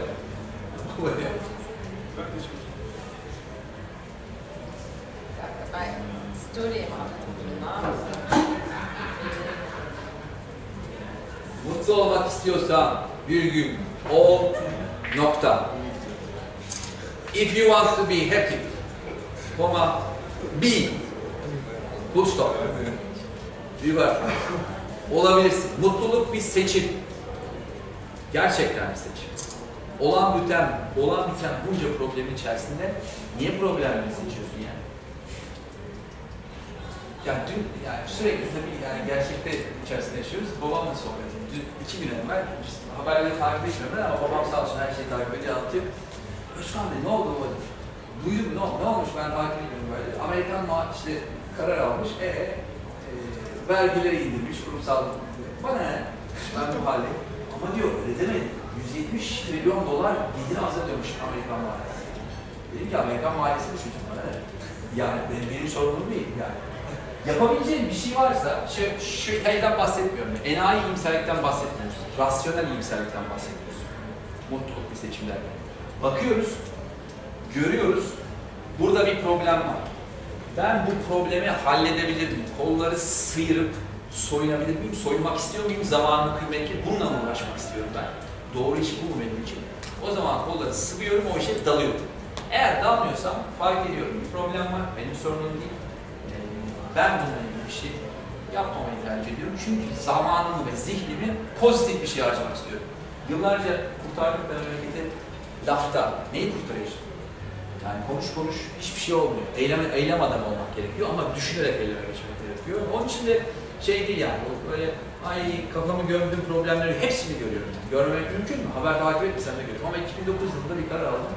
Gazete ve televizyon izlemiyorum. Yani sosyal medyada, sokakta, orada burada anne baba karşı herkese Efendim anneleri seviyoruz. İyi ki anneler var. Onlar olmasa zaten eğitim sistemi falan böyle John Lennon gibi adamları yetiştiremeyecek. Anneler olmasa bu dünyada gerçekten düzgün adamlar çıkmayacak. Öğretmeni soruyorum. "Ama Mutlu olmak istiyorum hocam. Soruyu anlamadın evladım. Hocam siz hayatı anlamadınız. Çünkü o hoca böyle kafalar, toner kafalar yetiştirmek istiyor. Kendi bilsin, tekrar izle. Okullara yaratıcılığı öldürüyor. Yaratıcılık için cesaret gerekiyor. Senin hata yapmaman gerektiğini söylüyor. Yani hata yapma, hata yapma. Şeyi anlatıyor ya adam, eee Amerika'da çok önemli bir tıp fakültesi, laboratuvardayım. Ben öğrenciyim, şeyle uğraşıyorum. Mikroskopla bakıyorum, arkadan arkadaşım gelecek, mikroskopun ayarını bozuyorum. Çocuğun yarım saat süresi var, 15 dakika ayarıyla uğraşsın, başarısız olsun diye. Böyle bir dünyada yaşıyoruz. Ben başarılı olayım, o başarısız olsun. Delirmiş halde. Niye? Sistem bu yani. Türkiye'de ve dünyada birkaç tane istisnai ülke hariç herkes şimdi Aa, nasıl ülkenin şöyle falan diye peşinden gidiyor da eğitim sistemi çökecek, çöktü yani. Bitmiştir. Yıkın o üniversite. Binalar falan kaldı. Soruyu anlamıyorsun dedim. Clayton Christensen çok severiz. Biraz daha yapıcı olsaydı daha çok severdim. Bu kadar yıkıcılar gerek yok. Yani insan inovasyona niye yıkıcılar değil mi? Yani inovasyon bir şey yaratmak. Yıkıcı inovasyon. Disruptive, disruptive. Niye yıkıcı olsun ya? Ben güzel bir şey yaratmışım kardeşim. Onu yıkıyorsa benim problemim. Benim yaptığım yaratıcı inovasyon. Bir gün Clayton'la görüşürsen bunu Görüşürüz çok bunu ben de e, Bursa'nın danışmanlık veriyorlar. Şimdi e, fakat gel gelelim fil hakikat. Şimdi e, in, çok muazzam bir adam. İn, Intel'i neler yapmış falan filan. Ölümle burun buruna geliyor. Ha, biliyorsun. Kanserle falan ölecek. O zamanlar insanı birazcık talim terbiyeden geçiriyor insanları tabii. Bir makalesi var. Şimdi kitaba dönüştü. Artık bir web sitesi var bu isimde. How will you measure your life? Hayatını nasıl ölçeceksin? Diyor ki ölümle burun buruna geldiğinde idrak ettim ki, fark ettim ki bir şey yaptım yani. Ömrüm boyunca dünyadaki şirketlere acayip büyük faydalar sağladım. Finansal fayda, finansal etki o kadar büyük ki adamın. Intel'e inovasyon danışmanlığı veriyor. Intel neler yapıyor dünyada bilmem. Ölçeği inanılmaz dev ölçekler. Yarattığım finansal fayda inanılmazdı. Ama ölümle burun buruna geldiğinde fark ettim ki benim için en kıymetli şey dokunduğum insanlar. Eğer bir insana dokunuyor ve onda olumlu bir fark yaratıyorsan bu dünyada bundan daha değerli bir şey yok. Ben lider, ya kim, bu, bu, bu e, soruyorum lider kim falan diyorum, kaldır beni, kimse elini kaldırmıyor. Bal gibi lidersin ya. Gerçek anekdot anlatacağım yine 15 gün önceden. Kuyubaşı, kuyubaşı e, balıkçıları o tezgahta biliyor musun, alıyor musun? Ben, Yiğit, ben 44 yıllık kısım topraklıyım. Adamla ilk defa 15 gün evvel tanıştım. Çünkü çok ciddi bir problem yaşadım. Çok büyük bir proje değil? Çöktüm yani. Yani düşmez kalkmaz bir alan öyle çöktüm. Kalktım sokağa çıktım. Tavsiye ederim. İnsanlara karışın. Yani eğer bir tane tavsiye aklınızda kalacaksa şeyle pozitif ilgili. İçinize kapanmayın. Yani bunu şeyler de yapıyor. Şirket liderleri de yapıyor. Ben CEO muyum? Ha. O zaman çok büyük problem var. Kapatın kapıları ben çözerim. Nereye çözeceksin? Senin genel müdür yardımcın var, senin müdürlerin var. Senin, onlarla bir paylaş bakalım. Veya sokağa çık, simitçiyle bir konuş bakalım. Adam bana öyle bir liderlik etti ki, yani öyle sohbet ettik e, balıkçı Erol'la. Ben 20 yıldır koyu başındayım. Şey, el arabasında balık satıyor. Taze getirmiş böyle canlı canlı şey, Şile'den sabah yakalanmış falan. Balıklar enteresan tavsiye ederim yani yapayım. Mevzu şey, biraz sohbet ettik ve ben tabii problemi anlatmıyorum ama ne yaptım anlatıyorum. Ama bir konuşmaya başladım. Tanrı size başkalarının aracıyla konuşun. Bir şeyler söyledi ki bana, duymak istediğim şeyleri söylüyor. Ben bir anda şey hafifledim yani. Ben değilim ha lider, balıkçı Erol değil. Ee, insanlara dokunduğun zaman gerçekten lidersin. Gerçekten. Ee, bunun için de ölümle burun buruna gelmeyi beklemeyin diye dokunun ya. Bir de yani lütfen eğer bir söz falan çıkıyorsanız yıkıcı inovasyonu falan yıkmak istiyorum. Yapıcı insan olmadan yıkıcı inovasyon hayatım olmak. Önce insan. Yani bugünün içeriğiyle, benim içeriğim hep insan. Ee, bu da benim uydurduğum bir şey. İçinde insan olmadan siz hiçbir şey başaramazsınız. Öyle anlatıyorlar ya işte Gates şöyle değildi. Takım var. bir kişilik bir mucize asla değil. Ee, yok işte Jobs böyleydi, işte Elon Musk 80 saat çalışıyor, her çalışıyor. Ama gelip ee, şeye de geliyor. Sen söyle. Başkente geliyor. Bana bana e, bana birisi onu ben görmedim. Selfiesini söyledi. Selfiesini nasıl çektiğini fark ettiniz mi? Evet, yani nasıl, ne, ne yöne doğru çektiğini fark ettim. Bana ben görmedim, bana söyledi. Yani Ankara var geri planda. Yüzü Ankara. Aynen. Yani arka tarafa almadı şey, mozeliyorum. Güzel bir adam. Ama e, tek kişi değil yani. O böyle bir tutkuyla gerçekten gidecek Mars'a Gerçekten gidecek. O ama yanında ya, o tutkuya, o ateşe inanmış insanları çekmiş vaziyette. E, gene e, Kayıp Lost Interview'da Jobs çok güzel anlatıyor şeyi. Vizyonu. Diyor ki, ya diyor, eğer doğru vizyon varsa diyor, siz diyor deli gibi çabalama falan diyor, öyle bir şey gerek yok diyor. O orada tam da burada. O orada güneş gibi sizi zaten böyle çeker diyor. Sen çabalamazsın diyor. Gerçek vizyonu gördüysen, vizyon dediğimizde biliyor musun? Gelecek hayal. Adam Mars'a gitme hayalini kurmuş. Elon Musk'ın annesini biliyor musun? Yani başka bir adam o adam. Anne- Anne, anne onda da anne faktörü. var. Annesi Hep anneler, yemin 70 ediyorum. yaşında sanırım ve model. Modellik mi yapıyor? Evet. Ah canım. Google Her. Ah canım falan Ne? değil yani. Ee, Bakalım ne şey bakın evet. Ee, Ma- Maya Musk. Maya Musk. Güzel mi? Müthiş. Efsane. Model kadın ömrü boyunca model ama Çocuğa Instagram biosu o kadar nefis ki kadının. Scientist, model, Ee, işte iki diplomalı falan filan yani hem bilim kadını hem de top model. Ve şu anda beyaz saçları fütüristik müthiş. Her gün başka bir fashion show'da. Benim idolüm de o yani. ben şeyi ama merak ediyorum. Maska ne yapmış? Aynen işte şey diyor, çocuklarınızı nasıl böyle yetiştirdiniz diyor. Onların sadece merak eden çocuk olmalarını destekledim o kadar diyor. Ya böyle arıza şekilde kitap okuyan adamlardan zaten bir tanesi de Atatürk yani. Şey yapacaksın, çekineceksin. Birisi geçen rakam söyledi. 3000 bu. Tam rakam söyledi. 3856 lira. Yani çocukken okuduğu kitapları falan inanılmaz ya. Olmaz deli yani. Kütüphanede yaşayan nefes alan falan bir şey. Organizma yani. Bir adam. Ee, bu şey hikayesi, az evvel söylediğim bir şey. Ee, lütfen ama lütfen fark edin. Siz bir şey, bu- burada şey değil, insandan da ötesine geçiyor bu iş. Çiçek, böcek, ağaç, taş. Sen e, rahmetli oldun, e, yaratıcı yazma dersi almıştın, Ülke Aktunç. Bilir misiniz? Türkçenin kurucusudur Ülke Aktunç. Çok az insandır çünkü roman yazmadı ama ödüllü şairdir, kısa öyküleri vardır, ressamdır. Hastalıktan erken gitti. Çok nefis bir Türkçesi var. Bir tane kısa öykü kitabını alın tavsiye ederim. E, Hulki Aktunç şeyi anlattı mesela. Al dedi, taşı koy dedi. E, taş tane yeterince zaman geçirsen taş sana hikayeler fısıldamaya başlar. Yani ve doğru söylüyor. Herhangi bir şeye haddinden fazla ilgi alaka verdiğin zaman fark ettiğin şey seni fark etmeye başlıyor. Bir tane hakikaten kıymetli insani tavsiye şu, kimse birbirini dinlemiyor. Kimse dinlemiyor. Herkes kendi kafasında, kafadaki sesle yani. Eğer yani sevilmek, mevülmek hikaye aranan ve e, böyle peşinden koşulan bir insan amacını sadece dinleyin. Oraya komik bir şey değil. yani şimdi susmak gerekiyor. E, ama gerçekten ve gerçekten dinlediğin zaman kimse dinlemiyor ki birbirini. Sen ayrışıyorsun yani. Muazzam bir şekilde insanlar senin peşinden gidiyor. Fark ettiğiniz her şey, insanlar, çiçekler, böcekler, hayvanlar, taş, mineral sizi fark edecek. Çok seviyorum. Yani muazzam bir e, deha yani. Biliyor musunuz bu hikayeyi? E, küçük bir çocuk yakalıyor bunu. Sen mi çiziyorsun Mickey Mouse'da? Yok diyor. E, belki diyor o komiklikler, şakalar falan senden çıkıyor? Peki sen ne yapıyorsun diye. Düşünüyor. Kendi tarzında.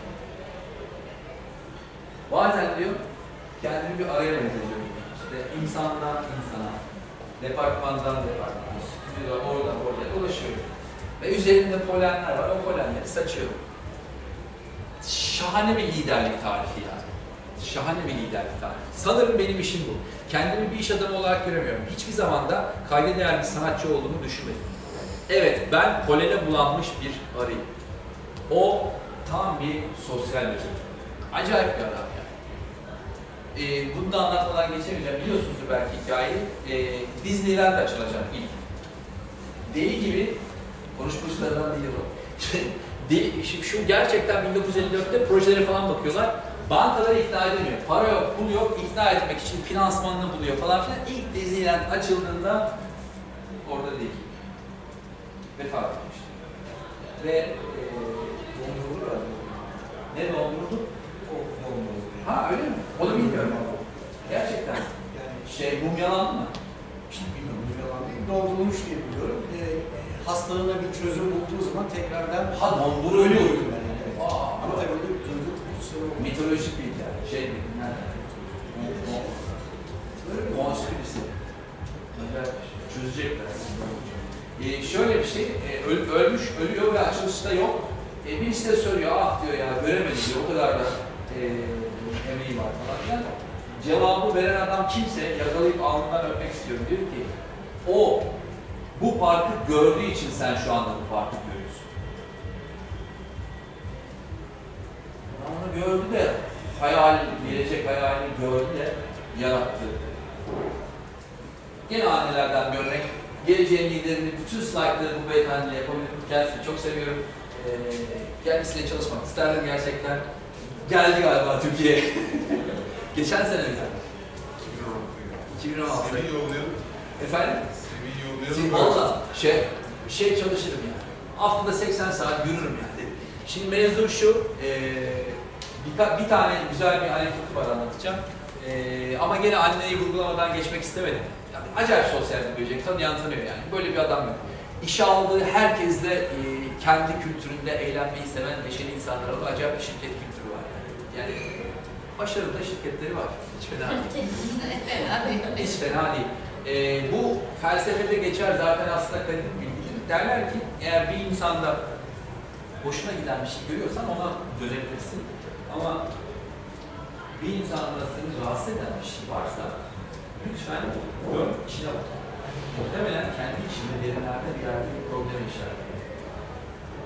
Net bir şekilde insanlar, ağaçlar, çiçekler, böcekler, olaylar, yaşadık kurtlarlar, akrabalar, sevdiğimiz insanlar, düşman bellediğimiz insanlar. Hepsi ama hepsi bize konuşuyor. Bizi kendimizle, kendi hakikatimizle buluşturmak için bir şeyler fısıldıyor. Yeter ki kulaklarımızı açalım, içimizi birazcık açalım ve dinleyelim. Ee, annesi efsane bir. Bu arada öz, özgeçmiş kitabını okursanız her chapter'da annesiyle ilgili bir anekdot var yani. Çılgın bir kadın. O da yani çok çılgın bir anne. Yani acayip hiç hostes, hostes bir, bir sürü şey var. Bak hiç kadınların yapmadığı şeyi herkes önce yapmış falan. Acayip girişimci bir anne. Görüyorsunuz. Kültür bu. Şşş, Nasıl kurulduğunu biliyor musunuz Virgin Airlines? Çok meşhur bir hikaye. Porto Rico'ya uçacak. Ee, Vir- Virgin adalarına. Uçak iptal oluyor. Baba gidiyor. Bir çarpı uçak kiralıyor. Sonra da bir e, tabela yapıyor. Porto Rico'ya uçmak isteyen var mı? Yani uçak iptal olduğu için zaten müşteri hazır. Kiraladığı çarpı uçakla kendisi de Rico'ya gidecek. Yolcuları topluyor. 39 dolar almış. Geçen de bir yerde rakamı yanlış söylemişim. 39 dolara koltuk satmış. Ve inerken yolculardan bir tanesi diyor ki eee Bay eee, uçuş iyiydi ama biraz hizmet kalitesini arttırması gerekiyor Virgin Havayolu'nun diyor. İlk uçuşumu yaptığını onu gördüm. diyor. Efsane bir şey. Yani yaratıcılık, girişim böyle bir şey. Bir de sosyal böcek olmak da böyle bir şey. Hani kültür mü yaratmak istiyorsun? Yaşayan bir örneği olacaksın. Hep böyle anlatır, rol model ol. Al sana rol model. Ne yaparsa yapsın her şeyin içinde. Şurada da gene var hepsinin içinde. Son 2, 3, 4. Mindfulness, mindfulness yıkılıyor ortalık. Kendisini seviyoruz. Dünyada görmek istediğiniz değişim. Ta kendisi olun. Ee, efsane bir hikayeyle başlıyor hayatı aslında. İngiltere Barosu'nda avukat. Güney Afrika'ya gönderiliyor özel bir görevle. Ve Güney Afrika'da trenden atılıyor. Kondüktör geliyor. Yani Güney Afrika İngilizlerin hakikaten katı ırkçılık olduğu dönemler onun geçti. Bu kompartmanda oturamazsınız diyor.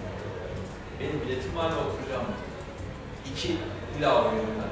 Eğer başka kompartmana geçmezse ırkçılık yapıyorlar yani. Renkli diye seni oradan alacaklar. Birinci sınıfta oturamazsın. Şey değil söylemiyor. Ben işte İngiltere Barosu'ndan avukatım falan. Benim biletim var burada oturacağım. Onu apar topar atıyorlar. Afrika'nın ortasında bilmediği yerde trenden atlıyor ve bir şey işliyor orada bir e, bir karar veriyorlar diye. Bütün hayat hikayesi bu trenden atılma sırasında aslında gözünün önünde ileriye doğru projeksiyonla görüyor. Bir karar aşamasında. Ya tasını, tarağını toplayıp İngiltere'ye dönecek ya da hayatı boyunca Gandhi gibi Gandhi olacak. Ee, şeysi bu. Ee, Çok kritik bir anı bu. Tuz yürüyüşü. Bence dirayetli savaşçı aynı zamanda. İlla böyle savaşması gerekmiyor yani. Böyle yürüyorlar. Şeyi seyrettiyseniz 1970'lerde 70'lerde İngiliz askerleri dipçikle vuruyor. Kalkıyorlar tekrar yürüyorlar. Şiddete şiddete karşılık vermek falan filan yok. Onlar dirayetli bir şekilde bambu ağacı gibi, hacı yakmaz gibi e, istikrarlı bir şekilde, yılmaz bir şekilde yolda yürüyorlar. Tuz yürüyüşü. Fotoğrafçı var aramızda. Son birkaç slide. Böyle bir şey gördünüz mü? Zoom şey lens gördünüz mü?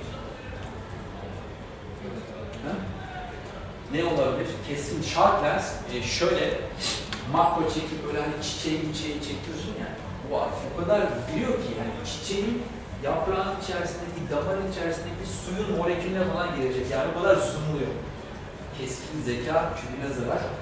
keskin, keskin lens, sharp focus e, ve e, Edward de Bono'nun bir lafı e, şeydir diyor. Sharp lens clever olmaktır, keskin zeki olmaktır. Ama diyor şöyle bir geniş açılı lensin varsa diyor o zaman olaylara başka bir perspektiften bakarsın. Şurada bir de şunu yapıyoruz. O kadar detayı görüyoruz ya bir de arayıp tarayıp onca bütün problemler içerisinde o yeteneğimizle probleme zoomluyoruz. Ya çek şunu, olumlu bir şeyi gör, o olumlu şeyin damarından akan pozitif sulara bak. Madem bu kadar keskin zekan var da. Negatif dealara ihtiyacımız yok. Sana bakacağım. Vardı bir şey. Yeniyim diye herhalde. Yok. Bir daha gelmeyeceksin. Bakarız. Geniş açılı lensi alın yanına. Şöyle bir bakın, ara sıra lensini değiştirmekte fayda var. Bu gözlüğü değiştiriyorum. İnovasyon sırasında başka gözlük takıyorum. Aslında ben konuşmuyorum, gözlük konuşuyorum. Smart bir var ya. Buna özel geldi. Bu geleceğin ileri konuşması için yapılıyor. Buradan geçiyor şey. Olur mu canım? Olmaz. Sana daha fazla bir. Tabii.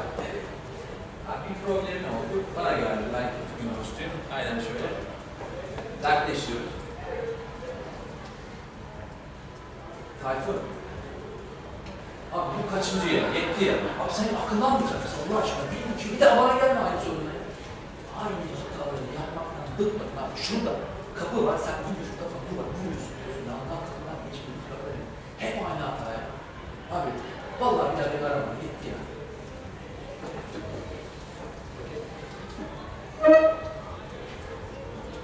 diye bir kötü bir dostunuz olsaydı?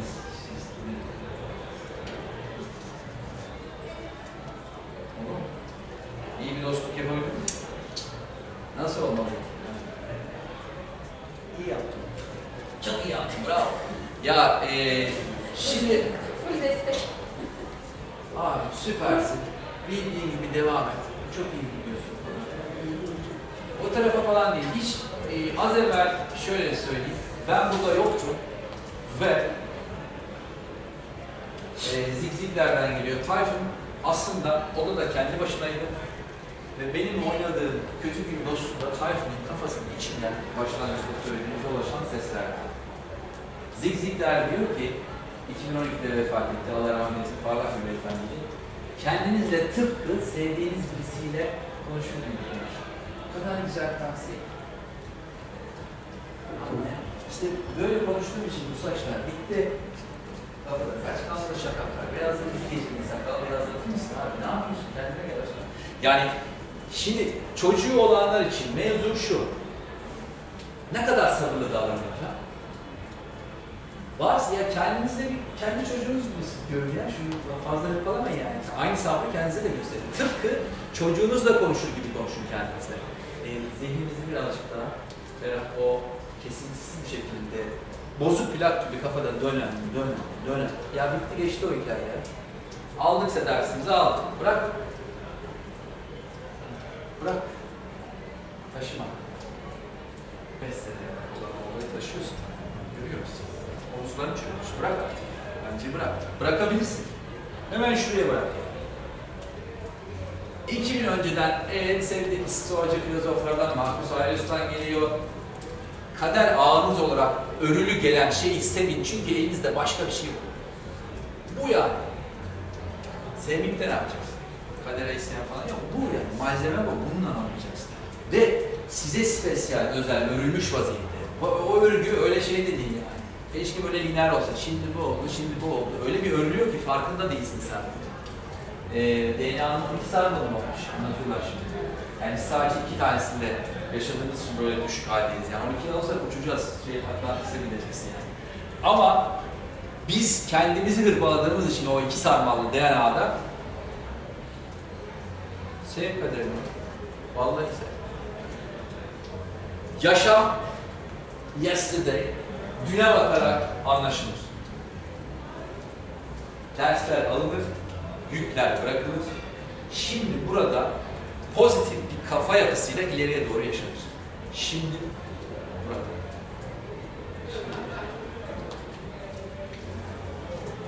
Yani böyle çok büyük bir ustalığım ve maharetim olmamasına rağmen e, dilerseniz bir üç, üç buçuk dakikalığına benimle oynamak isteyen varsa bir saniye e, herkes katılmak zorunda değil. E, küçük bir şey yapacağım efendim. Sadece korkmaya şey yok. Tuncay'a kadar diyeceğim size. E, mevzu birazcık nefes alıp nefes vereceğiz. Tanrı'nın Allah'ın bize bahşettiği en büyük hediye olarak nefesimizi kullanacağız. Benim tabii böyle biraz önce yavaşlamam gerekiyor. Nefes yazmış. Evet ya, ben seni Bilge'ye yazdım. Dedim ki nefesi gör. Hayır ben onda bir anlam arıyorum. Var var. Şimdi bak, buradan kitap çıkar. Nefes. Kitabın adını yazdım oraya. Nefes. Bir, bir şey Bir şey çıkar. Yirmi kere. Tersten okuyor. Tersten Shakes- seven oluyor. Shakespeare'im abi ben. Türkçe'de Shakespeare. Çıkar tersten seven oluyor. Ya, ya sevenler anlar. Bir.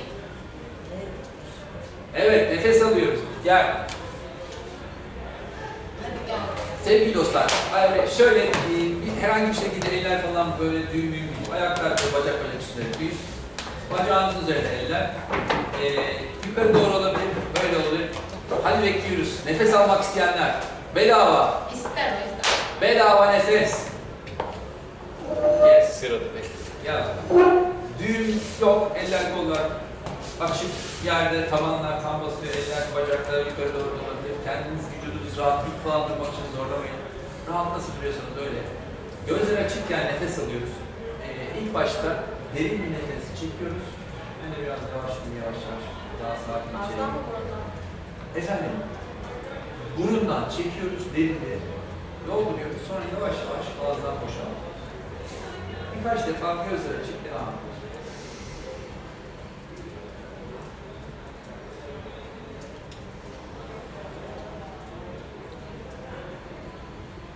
Doldu doldu doldu ciğerleri. Keyfini çıkarır. Lezzeti var şu an ha. Şişir şişir. Şimdi istediğiniz anda ilk nefesi boşalttığınız anda veya bir sonrakinde size iyi gelecek bir anda gözünüzü kapatabilirsiniz.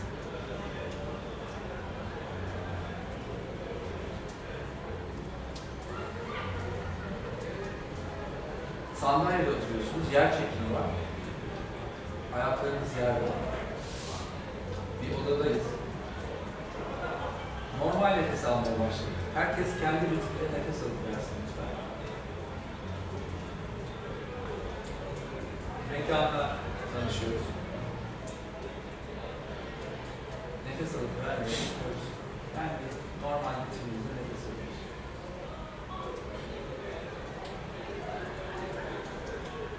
Ricam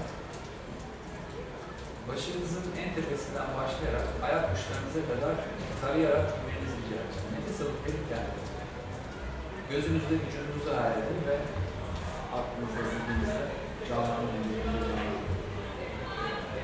Sken ediyoruz ayak uçlarına kadar baştan.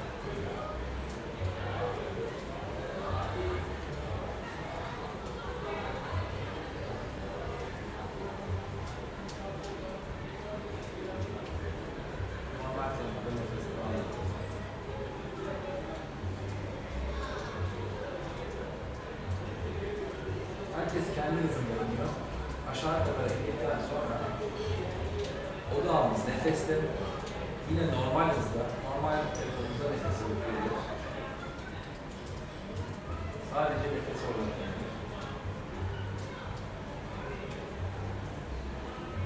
Kısa kısa alıyoruz. Derin nefesler, sığ nefesler, biraz onu düşünün. Bozmayın. Nasıl rahat ediyorsanız böyle kesin.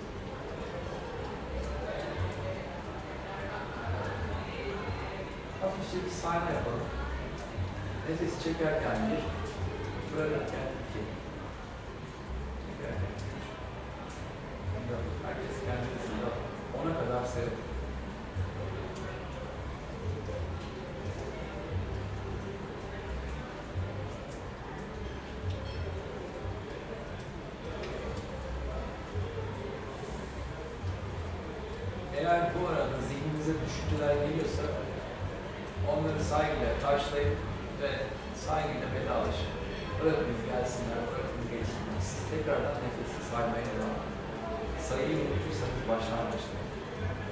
Ona kadar saymanız gerekirse tekrar birden başlayıp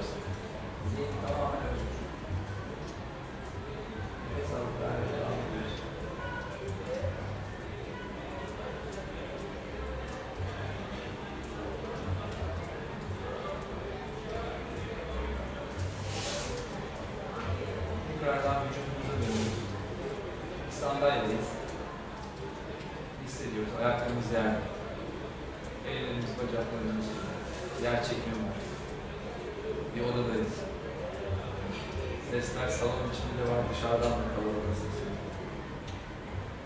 Nefes alıp vermeye devam ederken herkes kendini iyi hissettiği anda gözünü açabilir. Sizden ricam hemen gözünüzü açtıktan sonra kısa bir süreliğine de olsa başımını koşuşturmadan mola almış olduğuna eğitmiş. Bırakınız, koşuştursun. Çok acelerim var. Ben yakınlarınız için teşekkür ederim. Kendimi de başka türlü yavaşladım. İyi ki yapmışsın. Ne? Evden gelir. Ne ve es. Bunu çok seviyorum. Bunu koymazsam da olmaz. Çok efsane bir şey.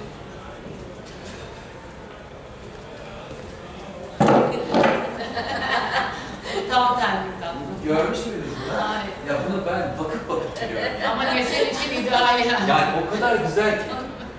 Hoca çok bunu Hakikaten bunu böyle iki tiyatrocu bulup oynatmak istiyorum yani ve onu böyle şeye çekeceğim. Yani. Şöyle çek. Arama lan bir daha beni.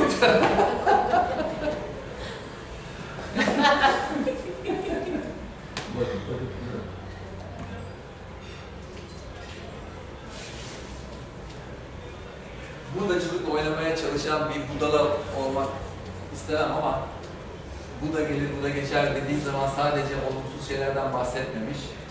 Pozitif, olumlu şeylerin de gelip geçiyor bu. Kendisinin de gelip geçiyor bu. Maddelerin, insanların, problemlerin. Hani ben çok daha iyiyim. Sadece 6 aydır. e, 15 yıldır bütün okuduklarım bana böyle meditasyon, meditasyon işaret ediyordu. Andy Cuticom diye bir beyefendi var. Eğer denk geldiyse TED Talk'unu tavsiye ederim. 9 dakika konuşuyor. Jonglör toplarıyla. Andy Cuticom bir aplikasyonu da var. Mindfulness da önemli bir aplikasyon. Guided Meditation yapıyor. 10 dakika nefes alıp nefes vermiyor ama tekrar var. Ondan sabahları çalışıyorum 10 dakika. Temmuz'dan beri pırıl pırıl bir şey iyi geldi yani. Şununla ilgili küçük bir anekdot da bitireyim. Taze yine bir ay evvelden benim yaşadığım Sokakta insanlarla böyle konuşup konuşup sonra anlatıyorum. Ee, sokakta bineceğim sabah. Bir şey, hanımefendi benden 10 yaş kadar işte ben 50 lira yaklaşıyorum, o da 60'a geliyor. Küçük bir köpek gezdi. E, Ben böyle işte turuncu montumla falan pozitif pozitif yerden 10 santim yukarıda uçarak falan gezerken kadını gördüm. Günaydın efendim size güzel bir gün diliyorum dedim. Aynı anda sonra. Kadın şaşırdı. Bana konuşamadı. Kızı toprakta yani Kadıköy'de ya ama çok değişti. Eskiden bütün komşular benim köpeğine konuşmaya başladı. Görüyor musun? Burası ne kadar güzel bir yer. İnsanlar birbirlerine selam veriyorlar. Sonra ben bırakmam ama yani pes etmem. Şimdi bir yaya olarak şuradan bir ara geçiş var. Ben de arabayla buradan döndüm, yavaşladım, camı açtım. Evet, kornaya bastım, el saldım. Sonrasında görüyorum artık yani tanışık olduk. Benim yolum çok güzelmiş. Sizin nasıl geçti? İyi geçti. Yani ne kaybettim Allah aşkına? Şimdi Buda değilim elbette ama Buda da bir insandı. Yani pozitif bir şey yapmak, hani bilinçli olarak gidip birisine pozitif dokunmakla hiçbir şey kaybetmiyorsun. Karşı taraf iyi seviyor, sen de iyi seviyorsun. Bu kadar basit yani. O film vardı ya, muhteşem bir film yani, Pay It Forward. Efsane filmdi yani. Hakikaten herkes iki tane iyilik yapsın. Dünya bir anda her şeyi bitirir. Acayip. Efendim, e, kimseye hiçbir şey öğretemem. Ama inşallah bu akşam size hayatın manasını vermeseydim biraz bildiğiniz şeyleri hatırlatmışımdır. Birazcık böyle e, ilham vermiştir. Ben vermedim, Sokrat verdi.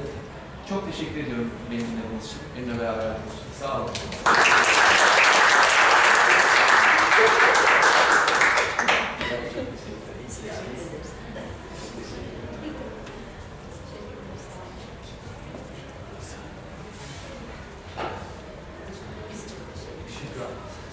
Namaste falan. Yapıyorlar. Namasteci oldu daha. Namasteci oldu. Çok çok teşekkür ederim. Çok sağ olun. Şey yani. Ben sana sonra yaptım. İstemeye oynamasın. İstemeye oynamasın. Öyle mi? Cümleyi alınca kaçtı. Kaçtı, yapıyorsun? direkt- kaçtı. Korktu, korktu.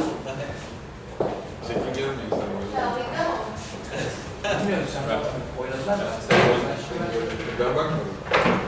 Görmedim yani. Yok, ben katıldım mı millet yoksa ben kendi kendime. Biz herkes size bakıyoruz. Ben katıldım. Ben de katıldım. Çünkü ben kendi gözümü kapatıp hiç farkında değilim. Nasıl geçti? Çok çok yüklendim. Hayır hayır. Ben de yüklenmem. Zaten kendime yüklenmek için geliyorum şey. Çok iyi yaptın yani. Çok memnunum. Ee, yani şey e, aynen öyle. Bence işim. Yani Yani 9-5, 9-5'im yani. Şimdi şöyle, işte sizinle birlikte aslında böyle ya da işte telefonlar falan birazcık e, ben neredeyim oturtturmaya çalışıyorum. Ama sizlere en net olan şey benim çevrem, iş yerimdeki çevrem hatasever. E, böyle bir küçük tutumlu vesaireler. Ama ben aslında tamamen hatasever ve e, girişimci şey. O enerjideyim ve çok ya doğru iş var ya. Değilim. Aslında onun farkındayım. E, hatta kararımı aslında verdim. E, Mars gibi bir şey bekliyorum. Sen de Ondan sonra oradan sonra yapıyorum. Gökhan çok teşekkür ederim. Biliyor musunuz? Tamam tamam. Ya geleceğim. Ocak, ocağın ilk sayfası bu yeter. Ben bir kart Çok iyi yaptın yani. Ee, Ben memnun oldum. Elime selam söyle.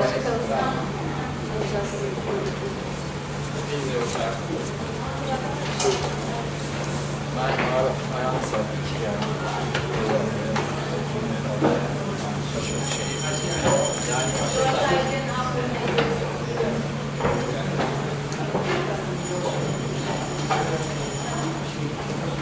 Sütün